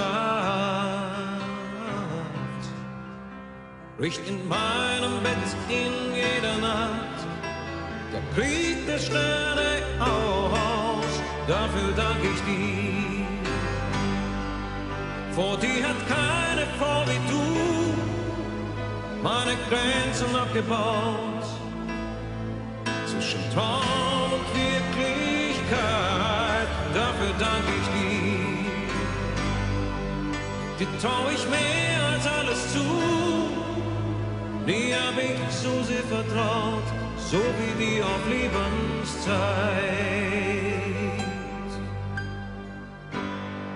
Du redest mir die Nacht im Mond. Es gibt viel zu wenig Menschen deiner Art. Gehst den Dingen auf den Grund. Ich hab keine Zeit umsonst verdammt. In deiner Gegenwart, dafür danke ich dir. Mein Freund, du bist mein bester Freund. Du gibst, was du hast dafür. Bist niemals undankbar, dafür danke ich dir. Du hast dein Herz nie eingezäunt. In deinem Haus gab's keine Tür, die für mich verschlossen war.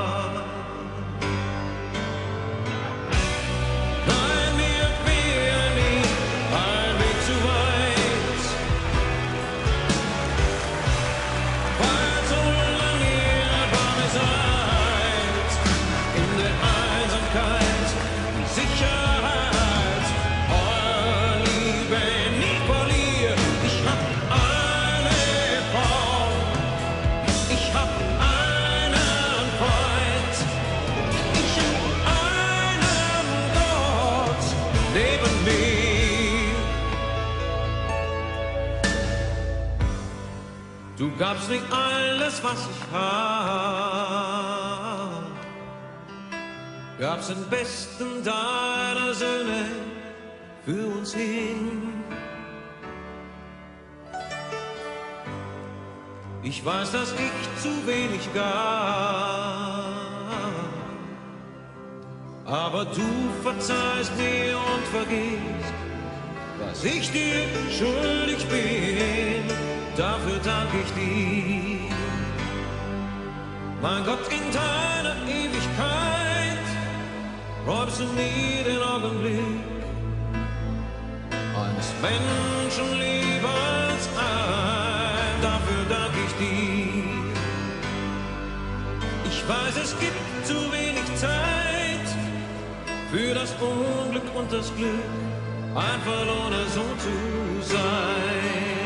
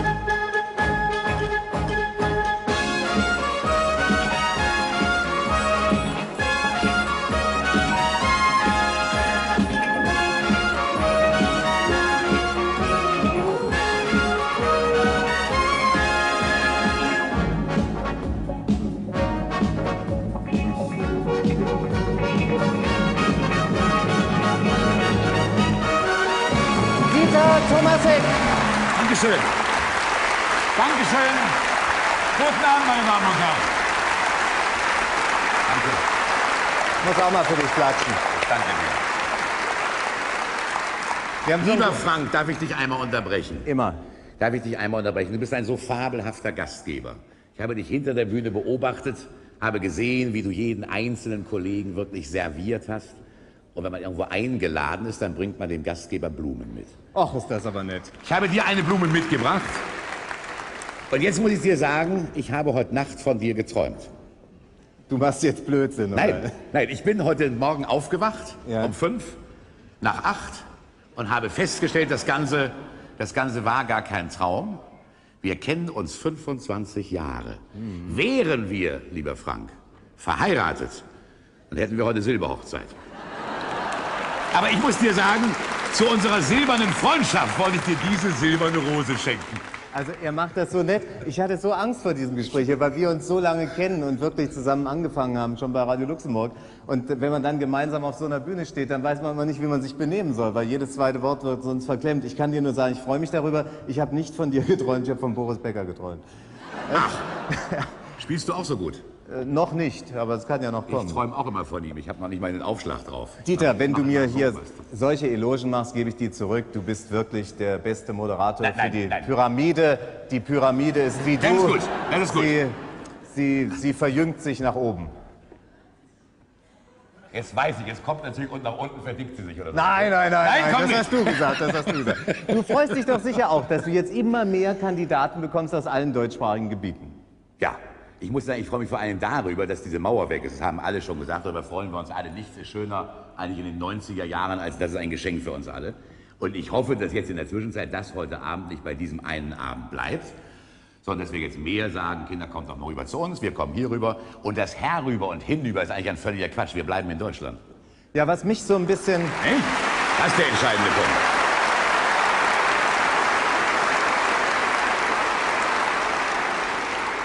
Was mich noch so ein bisschen stört, ist, dass man immer von Deutsch-Deutsch redet. Das hört sich so gestottert an. Irgendwann... Nee, darum sage ich auch Deutschland. Ja, eben. Gut, Dieter, jetzt gibt es ein Stückchen Original Pyramide. Herzlichen Dank mit Dieter Thomas Heck. Dankeschön, lieber Frank. Meine Damen und Herren, bei dieser Sendung, das wissen Sie, spielt immer jeweils ein Zuschauerkandidat. Der Zuschauerkandidat gewinnt und ein Prominenter hilft dabei, ihm Geld zu gewinnen. Heute Abend machen wir es ganz anders. Heute Abend spielen zwei Prominente auf beiden Seiten und spielen für einen guten Zweck. Beginnen wir doch mal mit den Gästen hier im Friedrichstadtpalast. Sie ist Schauspielerin, Sie haben sie auf vielen Bühnen gesehen, Sie haben sie in vielen Fernsehfilmen gesehen. Ganz sicher erinnern Sie sich an Schwester Elke aus der Schwarzwaldklinik. Er, er ist gelernter Kameramann, ist Regisseur und ist Showmaster-Kollege. Kaum zu glauben, so heißt seine Sendung. Barbara Busso und Pitt Weyrich.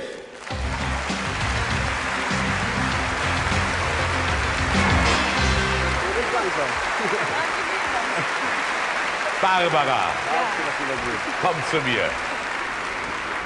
Heute in drei Wochen, heute in drei Wochen sagst du als wunderschöne Braut Ja. Ja. Und der Glückliche heißt Albert Fortell, den kennen Sie vom Blauen Blut, eine Fernsehserie, die gelaufen ist bei uns.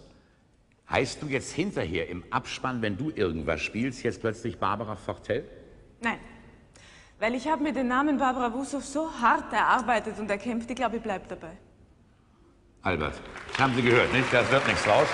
Aber mit der Ehe wird was draus. Die Künstlerin bleibt Barbara Die Busso. Künstlerin bleibt's, ja. Kameramann, Regisseur, Showmaster. Kaum zu glauben, gesingt er auch noch. Ja, ja. Ich Ja, singe. ja. Ich habe das gehört. Nicht, nicht heute. Sei jetzt bitte nicht, sei Sorge. bitte nicht so schüchtern. Ich habe das gehört. Zusammen mit den Poppies. Das ist ein sehr guter Kinderchor. Hast du eine sehr hübsche Platte gemacht und ich hoffe, dass wir die irgendwann mal sehen. Es hat drei riesen Vorteile gehabt. Mir hat Spaß gemacht. Die Poppies haben es überlebt. Und der Tonmeister ist seit einer Woche, nimmt er wieder feste Nahrung auf. Schön gesagt. Du hast eine tolle Jacke an. Ja, du, ich habe ich hab gedacht, es war schwierig, weil Es fällt auf vor allem, bei nicht? den vielen Moderatoren war die Moderatorenuniform ausverkauft. Da musste ich das nehmen.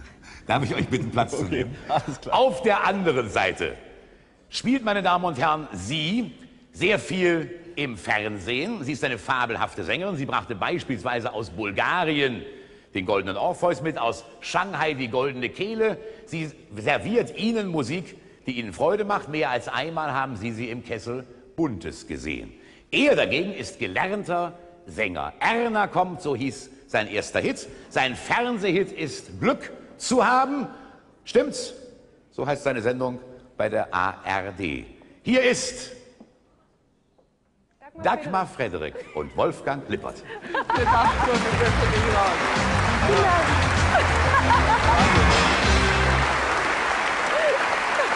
Dagmar, ich habe jetzt. Das ist ja unglaublich. Ja, ja. Würdest du das bitte nochmal machen? Das ist ungeheuer. Wir tanzen öfter mal zusammen. Lippi Hey. ist, Lippi ist so Papa, gut drauf, toll. ich kann mich nicht wehren. Toll. Habe ich jetzt irgendeine Sendung noch vergessen beim DFF? Du hast dir alles so super gemerkt. Also Kinomusik mit Dagmar Friedrich gibt es auch noch. Musik, die Ihnen Freude bringt, Kessel Buntes Ja. und Kinomusik. Hm? Alles klar. Ja. Du bist neben deinen fabelhaften Leistungen im Fernsehen, für die Kinder fing das an, Hey Du, Ja. habe ich mal gesehen, war sehr gut gemacht. Die Kinder ist was ganz Wichtiges, nicht? Aber du bist jemand, der gut mit Autos umgehen kann. Du kannst Autos reparieren, habe ich gehört, ganz gleich welche Marke. Das stimmt, ja. Ich habe auch gehört, dass du äh, ganz gut verkaufen konntest, äh, so Autos. Das ist richtig. Wollen wir uns zusammen? Dann sollten wir uns zusammentun. Ja, machen wir doch gleich. Aber das geht leider nicht. Geht nicht? Nein, ich habe schon ein Angebot von Trabi. Ach so. Ja. Darf ich bitten, Platz zu nehmen? Dürfen wir hier? Ja, natürlich.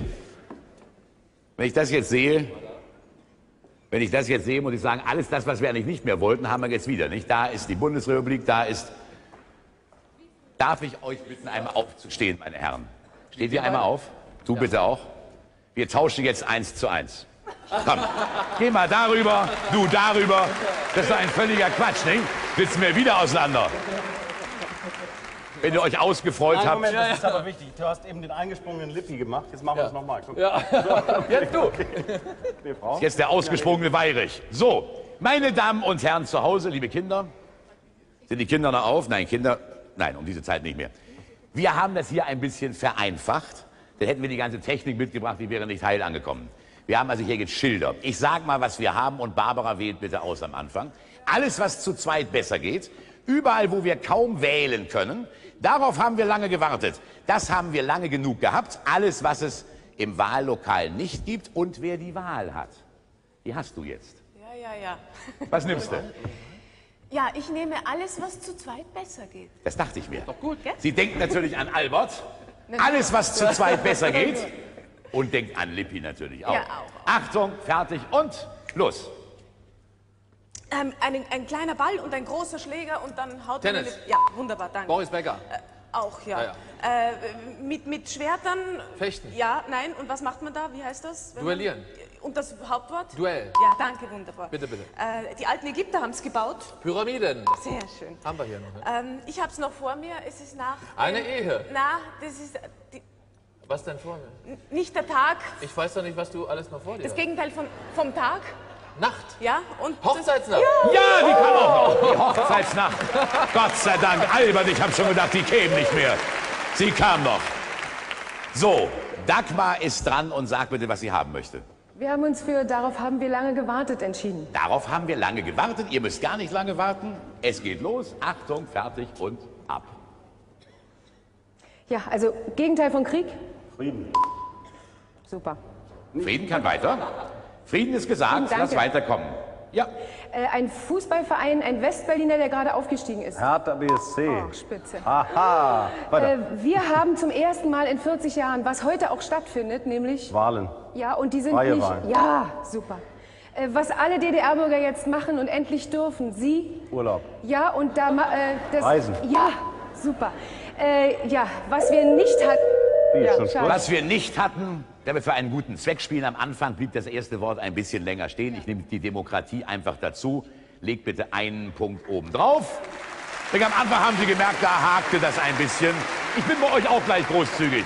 Lippi, den Schirm hast du gedreht. Ich frage dich, was du möchtest. Ein aktuelles Ereignis, wer die Wahl hat. Nee, das Wer die Wahl hat. Ja, ja.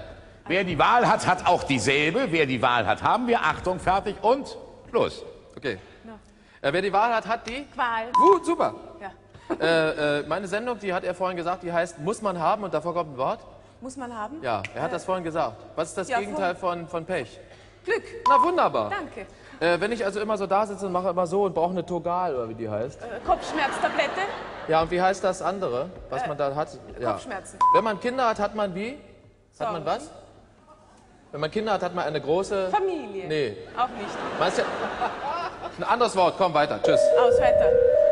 Verantwortung. Also da ich die Verantwortung hier übernommen habe, würde ich sagen, nehmen wir da auch einen Punkt dazu. Sie hat noch keine Kinder, sie kann auch auf Verantwortung natürlich nicht kommen. So, jetzt haben wir welchen Punktestand? Ich frage mal schnell, blende den einmal netterweise ein. Punkte sind jetzt bitte wie? 8 zu 5, aber Pitt ist dran und sagt bitte was. Aber, na gut, überall, wo wir kaum wählen können. Überall, wo wir kaum wählen können. Achtung. Aha. Bei einer Achtung, Anzeige. fertig und los. Äh, da, wo man heiratet, da wird da irgendwie, da muss man da so, so hin und dann. Standesamt. Ja. Äh, äh, Regen, Sonne, was ist das alles zusammen? Wetter? Ja.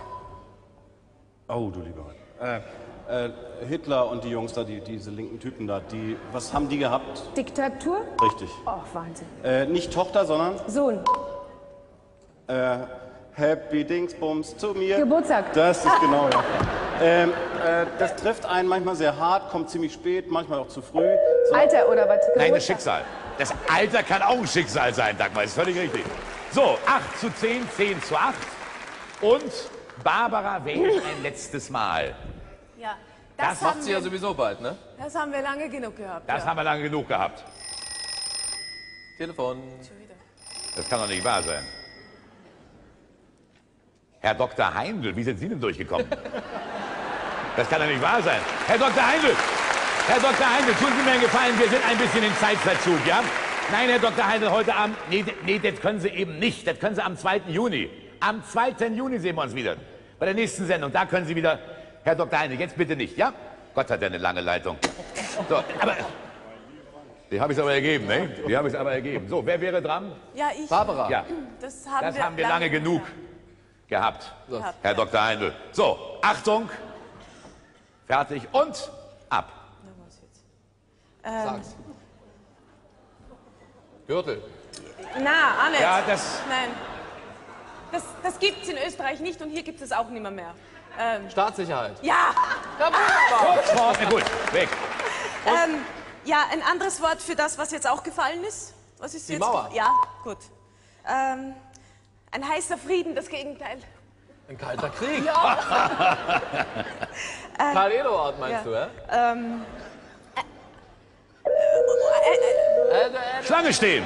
Schlange stehen. So, jetzt kommt die letzte Möglichkeit. Es steht zur Zeit. Zur Zeit steht es bitte wie? Ich schaue mal auf den Schirm und frage mal den lieben Kollegen, wie es steht. 13 zu 10. Dies bedeutet, drei Punkte bis zum Gleichstand, vier wäre bereits Sieg. Wichtig sind die Punkte insgesamt. Jetzt haben wir 23. Also es bleibt noch alles, was es im Wahllokal nicht gibt. Achtung, fertig, los. ja, äh, nicht Schnaps, sondern Bier. Ja, prima. Äh, wenn du in ein Restaurant gehst, hast du etwas, wo du die Speisen liest? Das heißt, ach, scheiße. Weiter, weiter, scheiße. weiter. Ähm, wir sprechen in einer Unterhaltungssendung und dann gibt es noch das, was, was die machen hier. Was Musik. Ist, ja. Äh, wenn sich ein Mädel so richtig auszieht, so ganz langsam. Äh, Oh, das ist was, toll. Mach mal schnell, wie heißt das? Äh, äh, das ab und das, Das ab? Ja. Striptease. Ja, wunderbar. Äh, du gibst dem Ober, wenn du großzügig bist, viel, manchmal. Trinkgeld. Ja.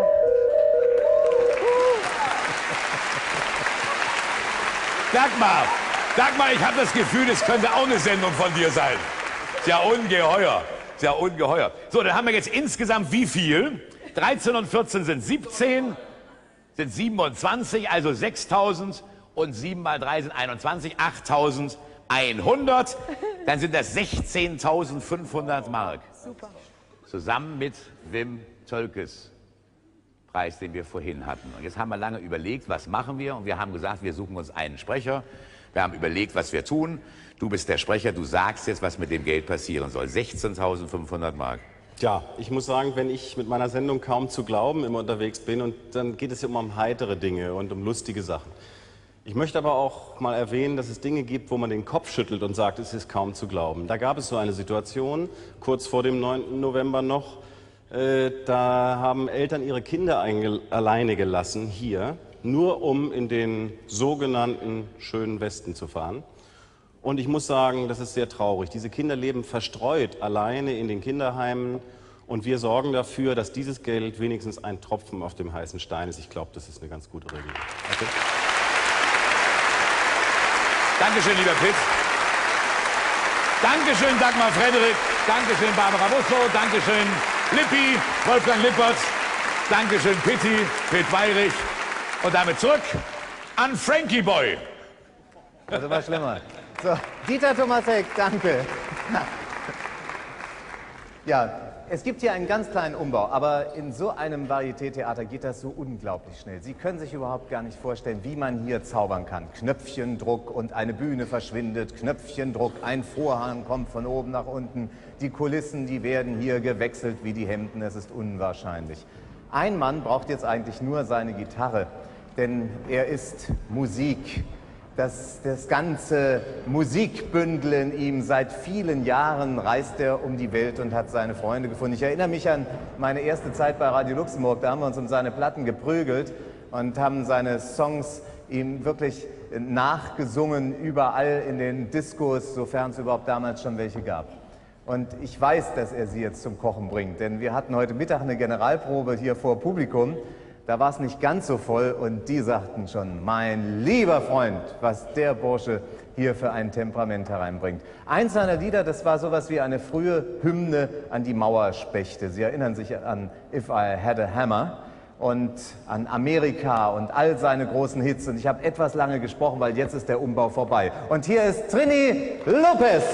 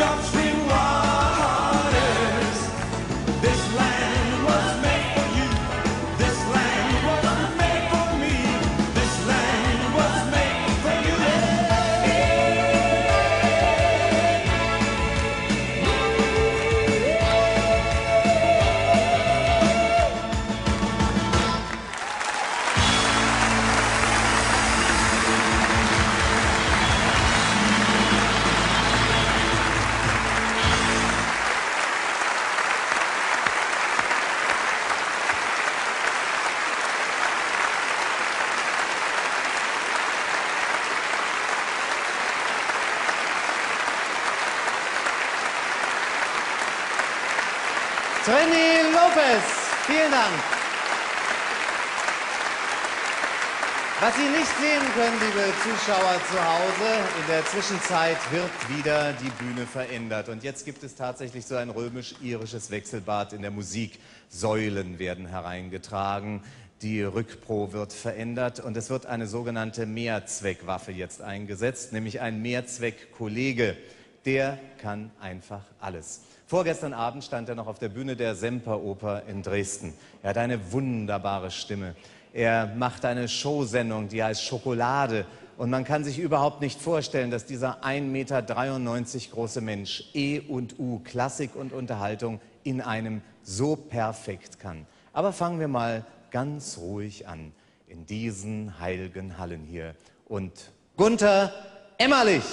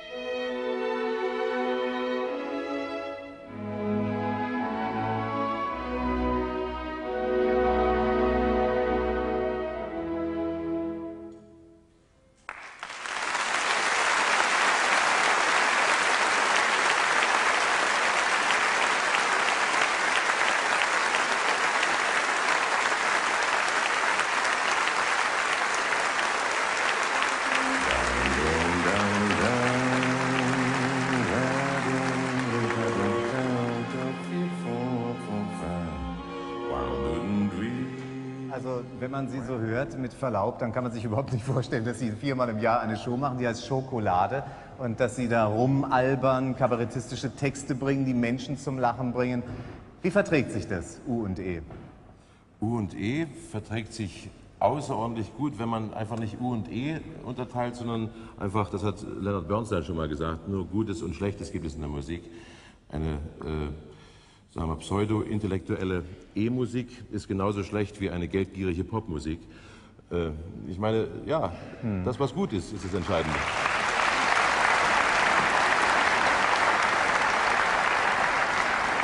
Manche Texte gewinnen ja plötzlich eine Aktualität, damit hat man gar nicht gerechnet. Ich nehme an, deswegen haben Sie sich die Heiligen Hallen ausgesucht.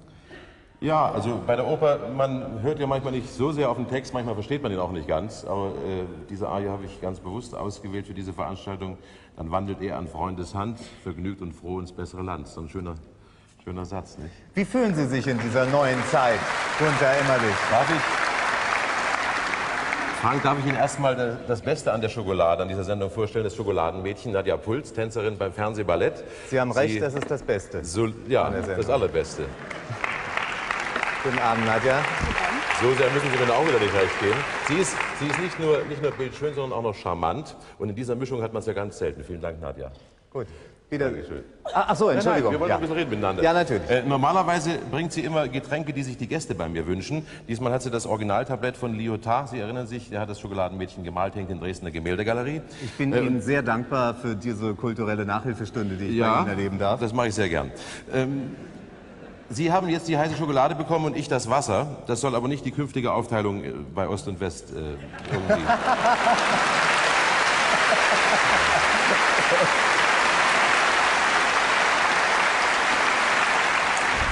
Sie haben, Sie haben mich gerade gefragt, wie ich mich fühle in dieser Zeit. Also im Prinzip erst einmal ganz positiv. Natürlich gibt es auch, äh, na, sagen wir mal so, ein paar Empfindungen, die nicht ganz so positiv manchmal sind, wie zum Beispiel die Tatsache, dass die Leute, die 40 Jahre völlig grundlos immer nur optimistisch waren, dass die jetzt für sich den Pessimismus erfunden haben. Das macht mich manchmal ein bisschen stutzig. Sie zeichnen sich dadurch Und aus, dann- dass Sie immer sehr ehrlich sind, Herr Emmerlich. Ja, machen Sie das nicht? Äh, ich habe es vielleicht nicht äh, so, so gut drauf wie Sie. Sie sind ehrlich in einer sehr schweren Zeit. Wenn ich ehrlich bin, fällt das nicht so auf. Aha. Ja. Na gut, daran müssen wir uns hoffentlich nicht gewöhnen. aber ich wollte gerade sagen, Sie werden sich daran noch gewöhnen müssen, Ich wollte, ja. ich wollte bloß noch eine, eine Geschichte erzählen. Es ist natürlich, wir müssen uns auch an einiges gewöhnen. Jetzt müssen einiges lernen, was wir lernen wollen. Und dann müssen wir einiges lernen, was wir vielleicht gar nicht so lernen wollen. Zum Beispiel, was folgende Geschichte sagen will. Kommt also einer in der Bundesrepublik, das kann nur bei Ihnen gewesen sein, kommt in eine Sparkasse hinein, geht zu dem Herrn an Schalter und sagt, ich möchte gerne ein Scheckheft, Sie Arsch. Oder entschuldigen Sie mal, wie reden Sie denn mit mir? Ich möchte gerne ein Scheckheft, Sie Arsch. Das muss ich mir doch nicht gefallen lassen. Er geht zu seinem Chef, beschwert sich, sagt, hier ist ein unglaublich ungehobelter Klotz und der möchte ein Scheckheft, Sie Arsch, sagt er zu mir. Sagt der Chef, das kann ja wohl nicht wahr sein, das ist ja wirklich un unglaublich so etwas. Äh, ist, das, ist der Kunde bei uns? Ja, ja, ist Kunde bei uns. Und äh, hat er Konto? Ja, natürlich hat er ein Konto, wenn er Kunde ist, klar. Wie viel hat er drauf? Na, so eine knappe Million ungefähr. Dann geben Sie noch ein Scheckheft, Sie Arsch. Und das wäre, das wäre bei uns nicht möglich, sowas.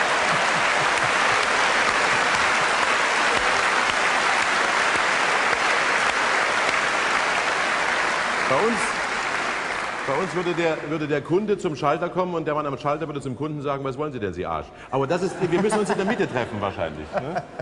Was würden Sie denn jetzt sagen, ist Ihr Hauptberuf? Was der Nebenberuf? Mehr, mehr das Unterhaltsame im Fernsehen oder die Klassik in der Oper?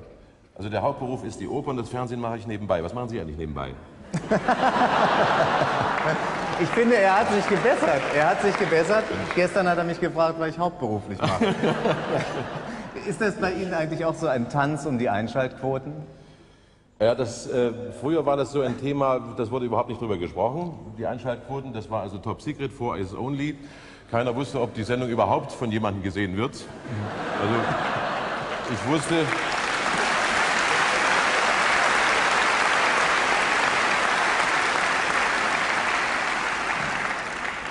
Ich wusste zum, zum Beispiel natürlich, dass die Verwandten gucken, das wusste man, das ist ganz klar. Und neu, neuerdings gibt es aber Einschaltquoten, es gibt also auch äh, Prozentzahlen und die sind ganz ordentlich, ich bin relativ zufrieden. Ja, aber ich ich, ich an, weiß aber nicht, ob man ihnen glauben kann. Also ich, ich weiß auf jeden Fall, dass ich einen Fan habe, ich hundertprozentig. Nein, Sie haben 100% dazu gewonnen. Sie haben zwei Fans. und ich bin der Zweite. Und deswegen möchte ich gerne, dass Sie Ihren allerersten jetzt vorstellen. Gunther Emmerlich. Gespräch. Herr Emmerlich, Herr Emmerlich, Herr Emmerlich, Herr Emmerlich. Ich bin ja froh, dass ich es noch geschafft habe, Herr Emmerlich. Mein Fan Ich grüße. Sie recht herzlich, Herr Emmerlich. Herr Emmerlich, Begrüße ich kann. Ihnen sagen, es war ja ein Weg hier runter. Oh. Herr Emmerlich, ich kann Ihnen... Ich kann Ihnen sagen, an der Kasse eine Schlange, ich gleich vorne ran, da haben die mich angeschnauzt, ich soll mich hinten anstellen. Aber wie denn? Da waren doch schon welche. Ja, wir haben es ja offenbar wieder mal geschafft. Natürlich habe ich es geschafft, nachdem ich zehn Eintrittskarten gekauft habe. Warum denn so viele? Die Frau am Einlass, die hat mir doch jedes Mal die Dinger wieder zerrissen. Herr, Herr Emmerlich, ich komme gleich zu Ihnen. Ich weiß, Sie freuen sich schon. Ich will bloß Ja. mal gucken, wer heute hier in der ersten Reihe sitzt. Hier saß doch früher immer der, na hier, und daneben saß ein lila Drachen. Wie hieß sie denn gleich hier? Hier die. Sie, hatte so einen, sie hatte, sie hatte doch so ja, Nein, Sie hatte so einen göttlichen Namen, nicht wahr? Margot. Richtig, ja. Mein Herr, Ja. mein Herr, Sie können ruhig den Ausweis stecken lassen. Wenn Sie da Erich wären, würden Sie ja nicht sitzen. Ja, das muss ich. Herr Emmerlich, da geht ja. Herr Emmerlich, da geht ja jetzt in aller Ruhe in Belitz spazieren und wartet auf den Anruf von Mielke. Mielke? Der von der Stasi. Ach so, ja, ich erinnere Also der wartet auf den Anruf, dass der ihm sagt, Erich, du kannst jetzt rauskommen, die Übung ist beendet.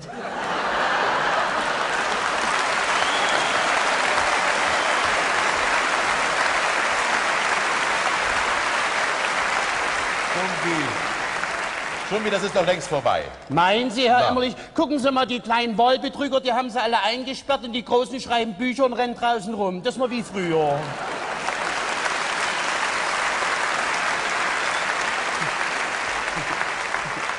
Herr Emmerlich, apropos Wahl, gucken Sie mal, am 18. März haben wir gewählt. Jetzt haben wir hier am 6. Mai heute gewählt. Dann wählen wir wieder Gesamtdeutsch. Wir kommen ja aus den Wählen gar nicht mehr raus. Wenn wir pausenlos unsere Stimme abgeben, haben wir ja bald nicht mehr zu sorgen.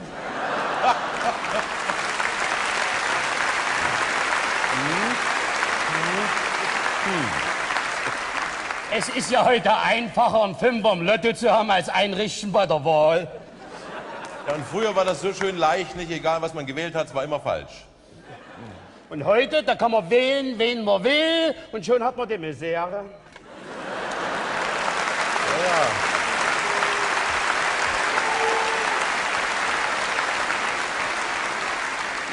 Da kann ich nur sagen, was, was die meisten wollen, das passt eben nicht jedem. Herr Emmerlich, ich würde lieber wie ein Dichter sprechen, von Frühlingserwachen. Kennen Sie das Gegenteil von Frühlingserwachen? Abends rechts einschlafen. da war wohl nicht gut, Herr Emmerlich, Sie hören mir doch gar nicht zu. Wieso? Na, weil Sie gehen. Ja, weil ich Ihnen zuhöre, gehe ich. Also, Herr Emmerlich, jetzt wäre ich ja gleich wie ein bisschen rot hier. Rot, da fallen Sie in Berlin nicht weiter auf.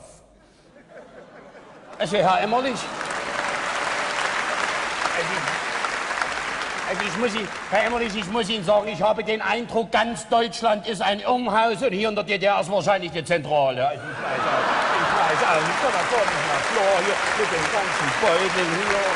Dumpi. Dumpi, sag doch mal, was ist denn jetzt eigentlich so die Lieblingsbeschäftigung des DDR-Bürgers, äh, wenn man das vom Wählen mal absieht? Also meckern, nicht mehr. Nicht mehr. Nein, jetzt meckern nur noch die, die früher mal recht hatten.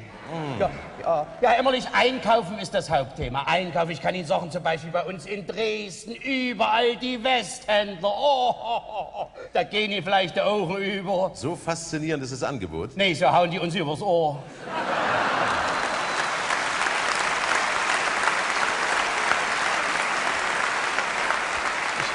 Also, ich nehme ja da gleich immer mein Trabi-Kombi und ich mache da gleich rüber, ich gehe drüben einkaufen. Ja. Ich war jetzt auch mal in so einem Sexschuppen.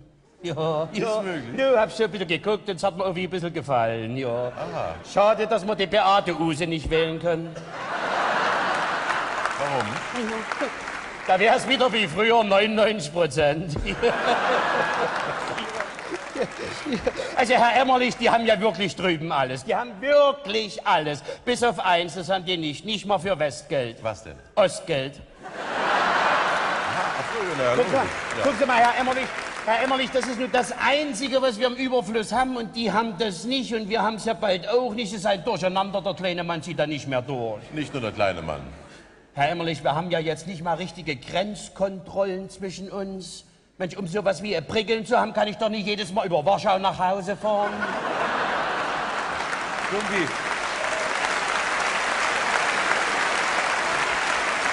Es wird,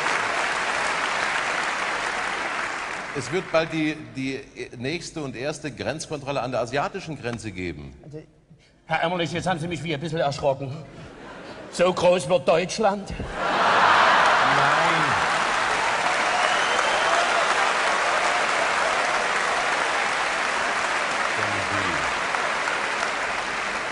Ich rede vom Vereinigten Europa. Aber eins. das ist schon einer. Ja. Herr Emmerlich, aber eins möchte ich wissen. Wenn ich na, zum Beispiel nach Amerika in den Urlaub will, da ist doch hoffentlich noch eine Grenze. Ja, wieso? Weil ich für einen Toten leiden kann, meinen Urlaub immer zu Hause zu verbringen. Das ist doch wahr, der Jodelmann, nicht wahr? Herr, Herr Emmerlich, wissen Sie aber, dann kannst du auch mal ein bisschen, wenn ich so im Urlaub bin, ein bisschen einkaufen, so ein, so ein kleines Schnäppchen machen und billig einkaufen. Ja, was, was haben Sie denn heute eigentlich eingekauft? Ich sehe gerade, Also Sie ich habe ganz gut eingekauft, aber ich hatte leider wieder zu wenig Beute. Ach hier, hier, den habe ich übersehen. Der war schon hier drin. Hier, der hier. Den habe ich hier und dann habe ich... Na, Mit, mit dem kann Herr Gysi Pilze suchen. Da Emmerich. Den behalte ich mir mal, den lasse ich mir an, Mann. Ja.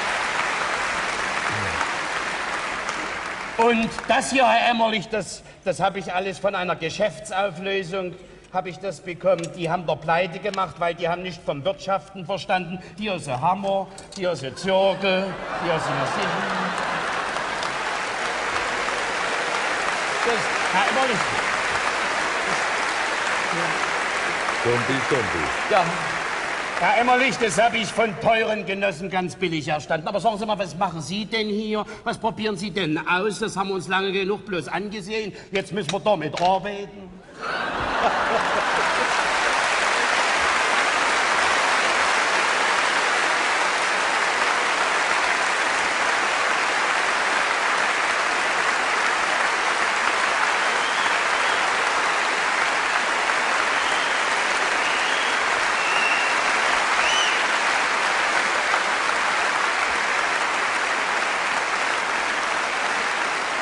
Wolfgang Stumpf von der Herkuleskeule in Dresden.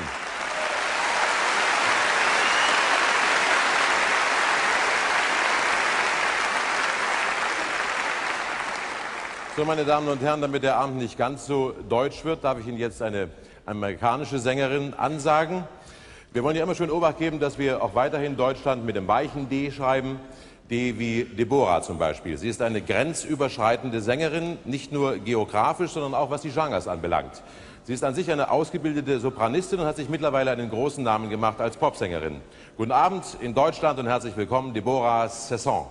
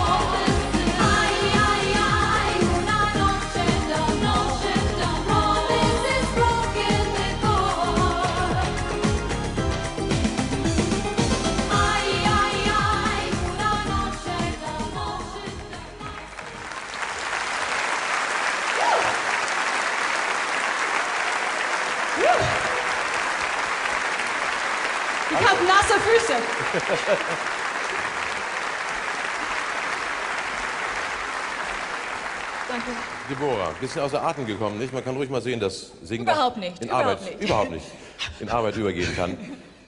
Du hast, äh, als du in meiner Show vor anderthalb Jahren warst, ist dir guter Gang seither? Vielen Dank, Nadja. Sehr gut. Uh, etwas zu dem Gang. Ja, wirklich? Du hast dir damals Whisky bestellt. Diesmal, vielen Dank. Diesmal hast du dir äh, Wein bestellt. Kennst du den Gott der Weinbauern? Nein. Das ist der Panche Lama. Zum Wohl.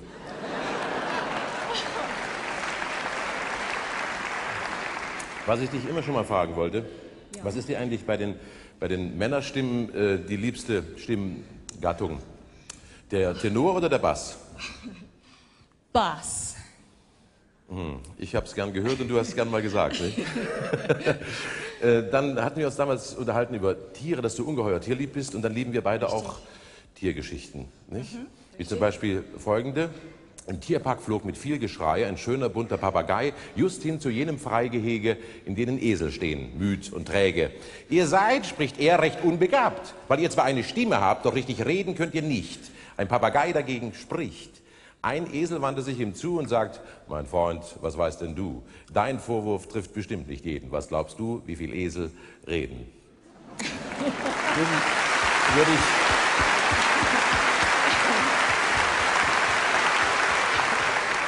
deswegen singen wir jetzt was zusammen. Up where sollen we wir aufhören zu reden? belong. Wir singen.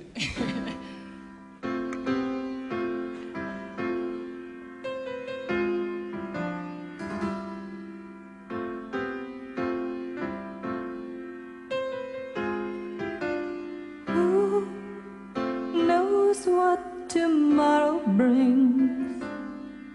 In a world, few hearts survive. I know the way I feel. When it's real, I keep him alive. The road is long.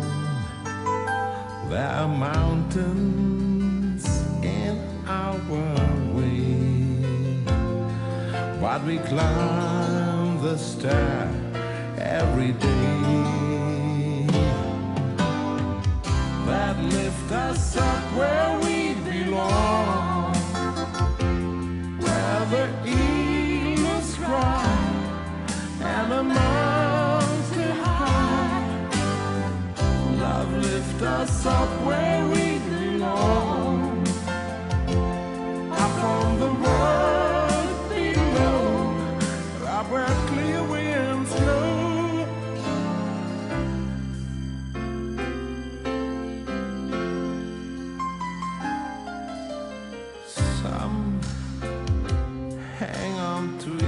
to be, live their lives looking behind.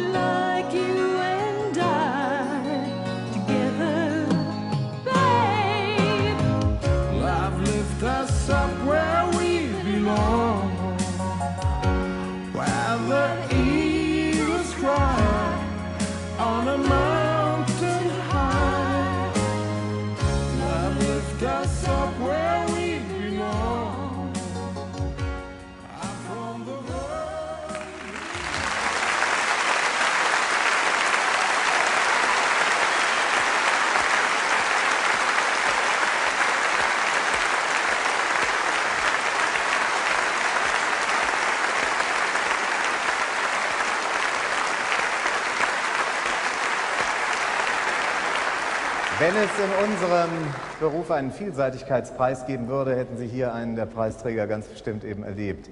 Es ist heute eine Sendung zum ersten Mal in dieser Besetzung und wir schleppen mit uns das gleiche Problem, meine Damen und Herren. Es ist fünf nach halb elf. Ich bin soeben von der Sendeleitung gebeten worden, ein paar passende Worte dazu zu sagen. Äh, ich dachte, am Sonntag gibt es gar kein Sportstudio. Aber einige warten natürlich auf die nachfolgenden Programme und ich darf Sie beruhigen. Es dauert nicht mehr lange. Und wir können jetzt nicht abbrechen. Wir würden sonst den Opernfreunden höchstwahrscheinlich keine Freude machen.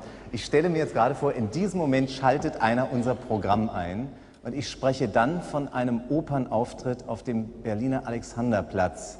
Und dann erleben Sie das, was jetzt kommt. Aber mit dem Problem müssen Sie selber fertig werden. Ich rufe Papageno!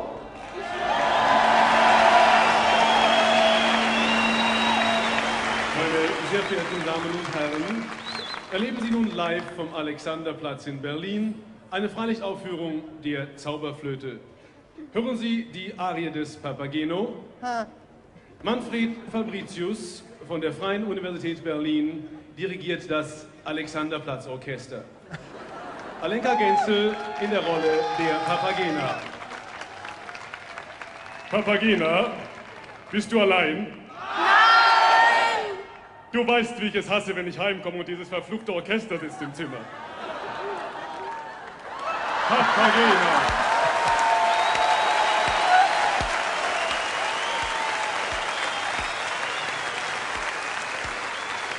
Dankeschön. Dankeschön. Herr Kapellmeister.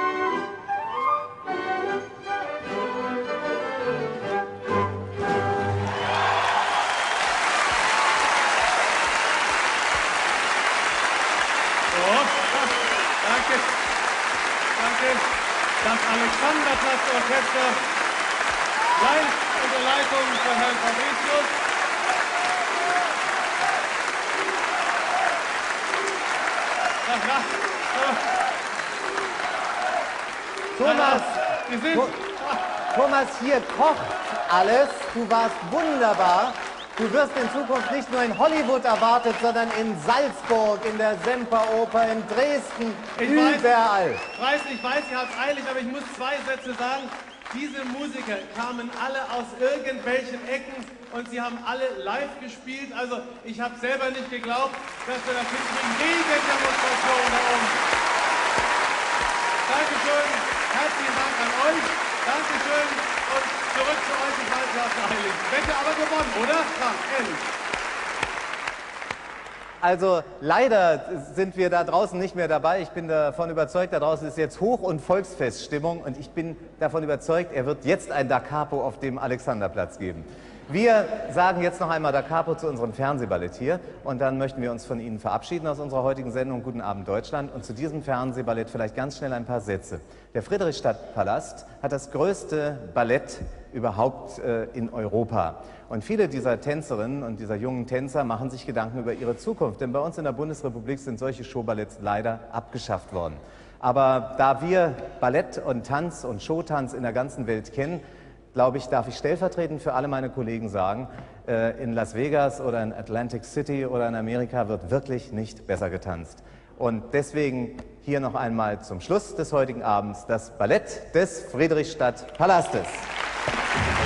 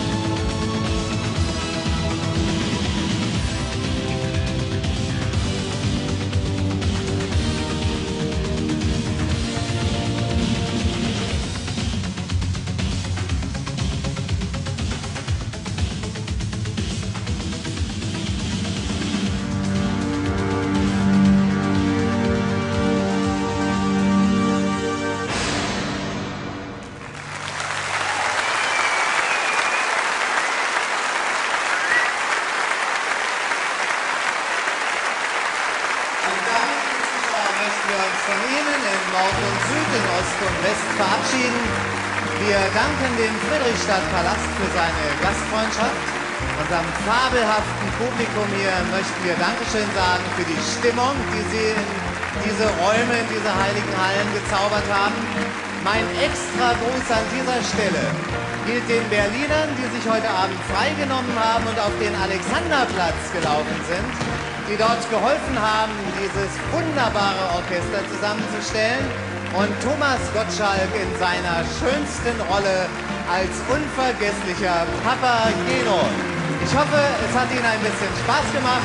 Wir möchten uns verabschieden von Ihnen und sagen, guten Abend und gute Nacht, Deutschland. Auf Wiedersehen.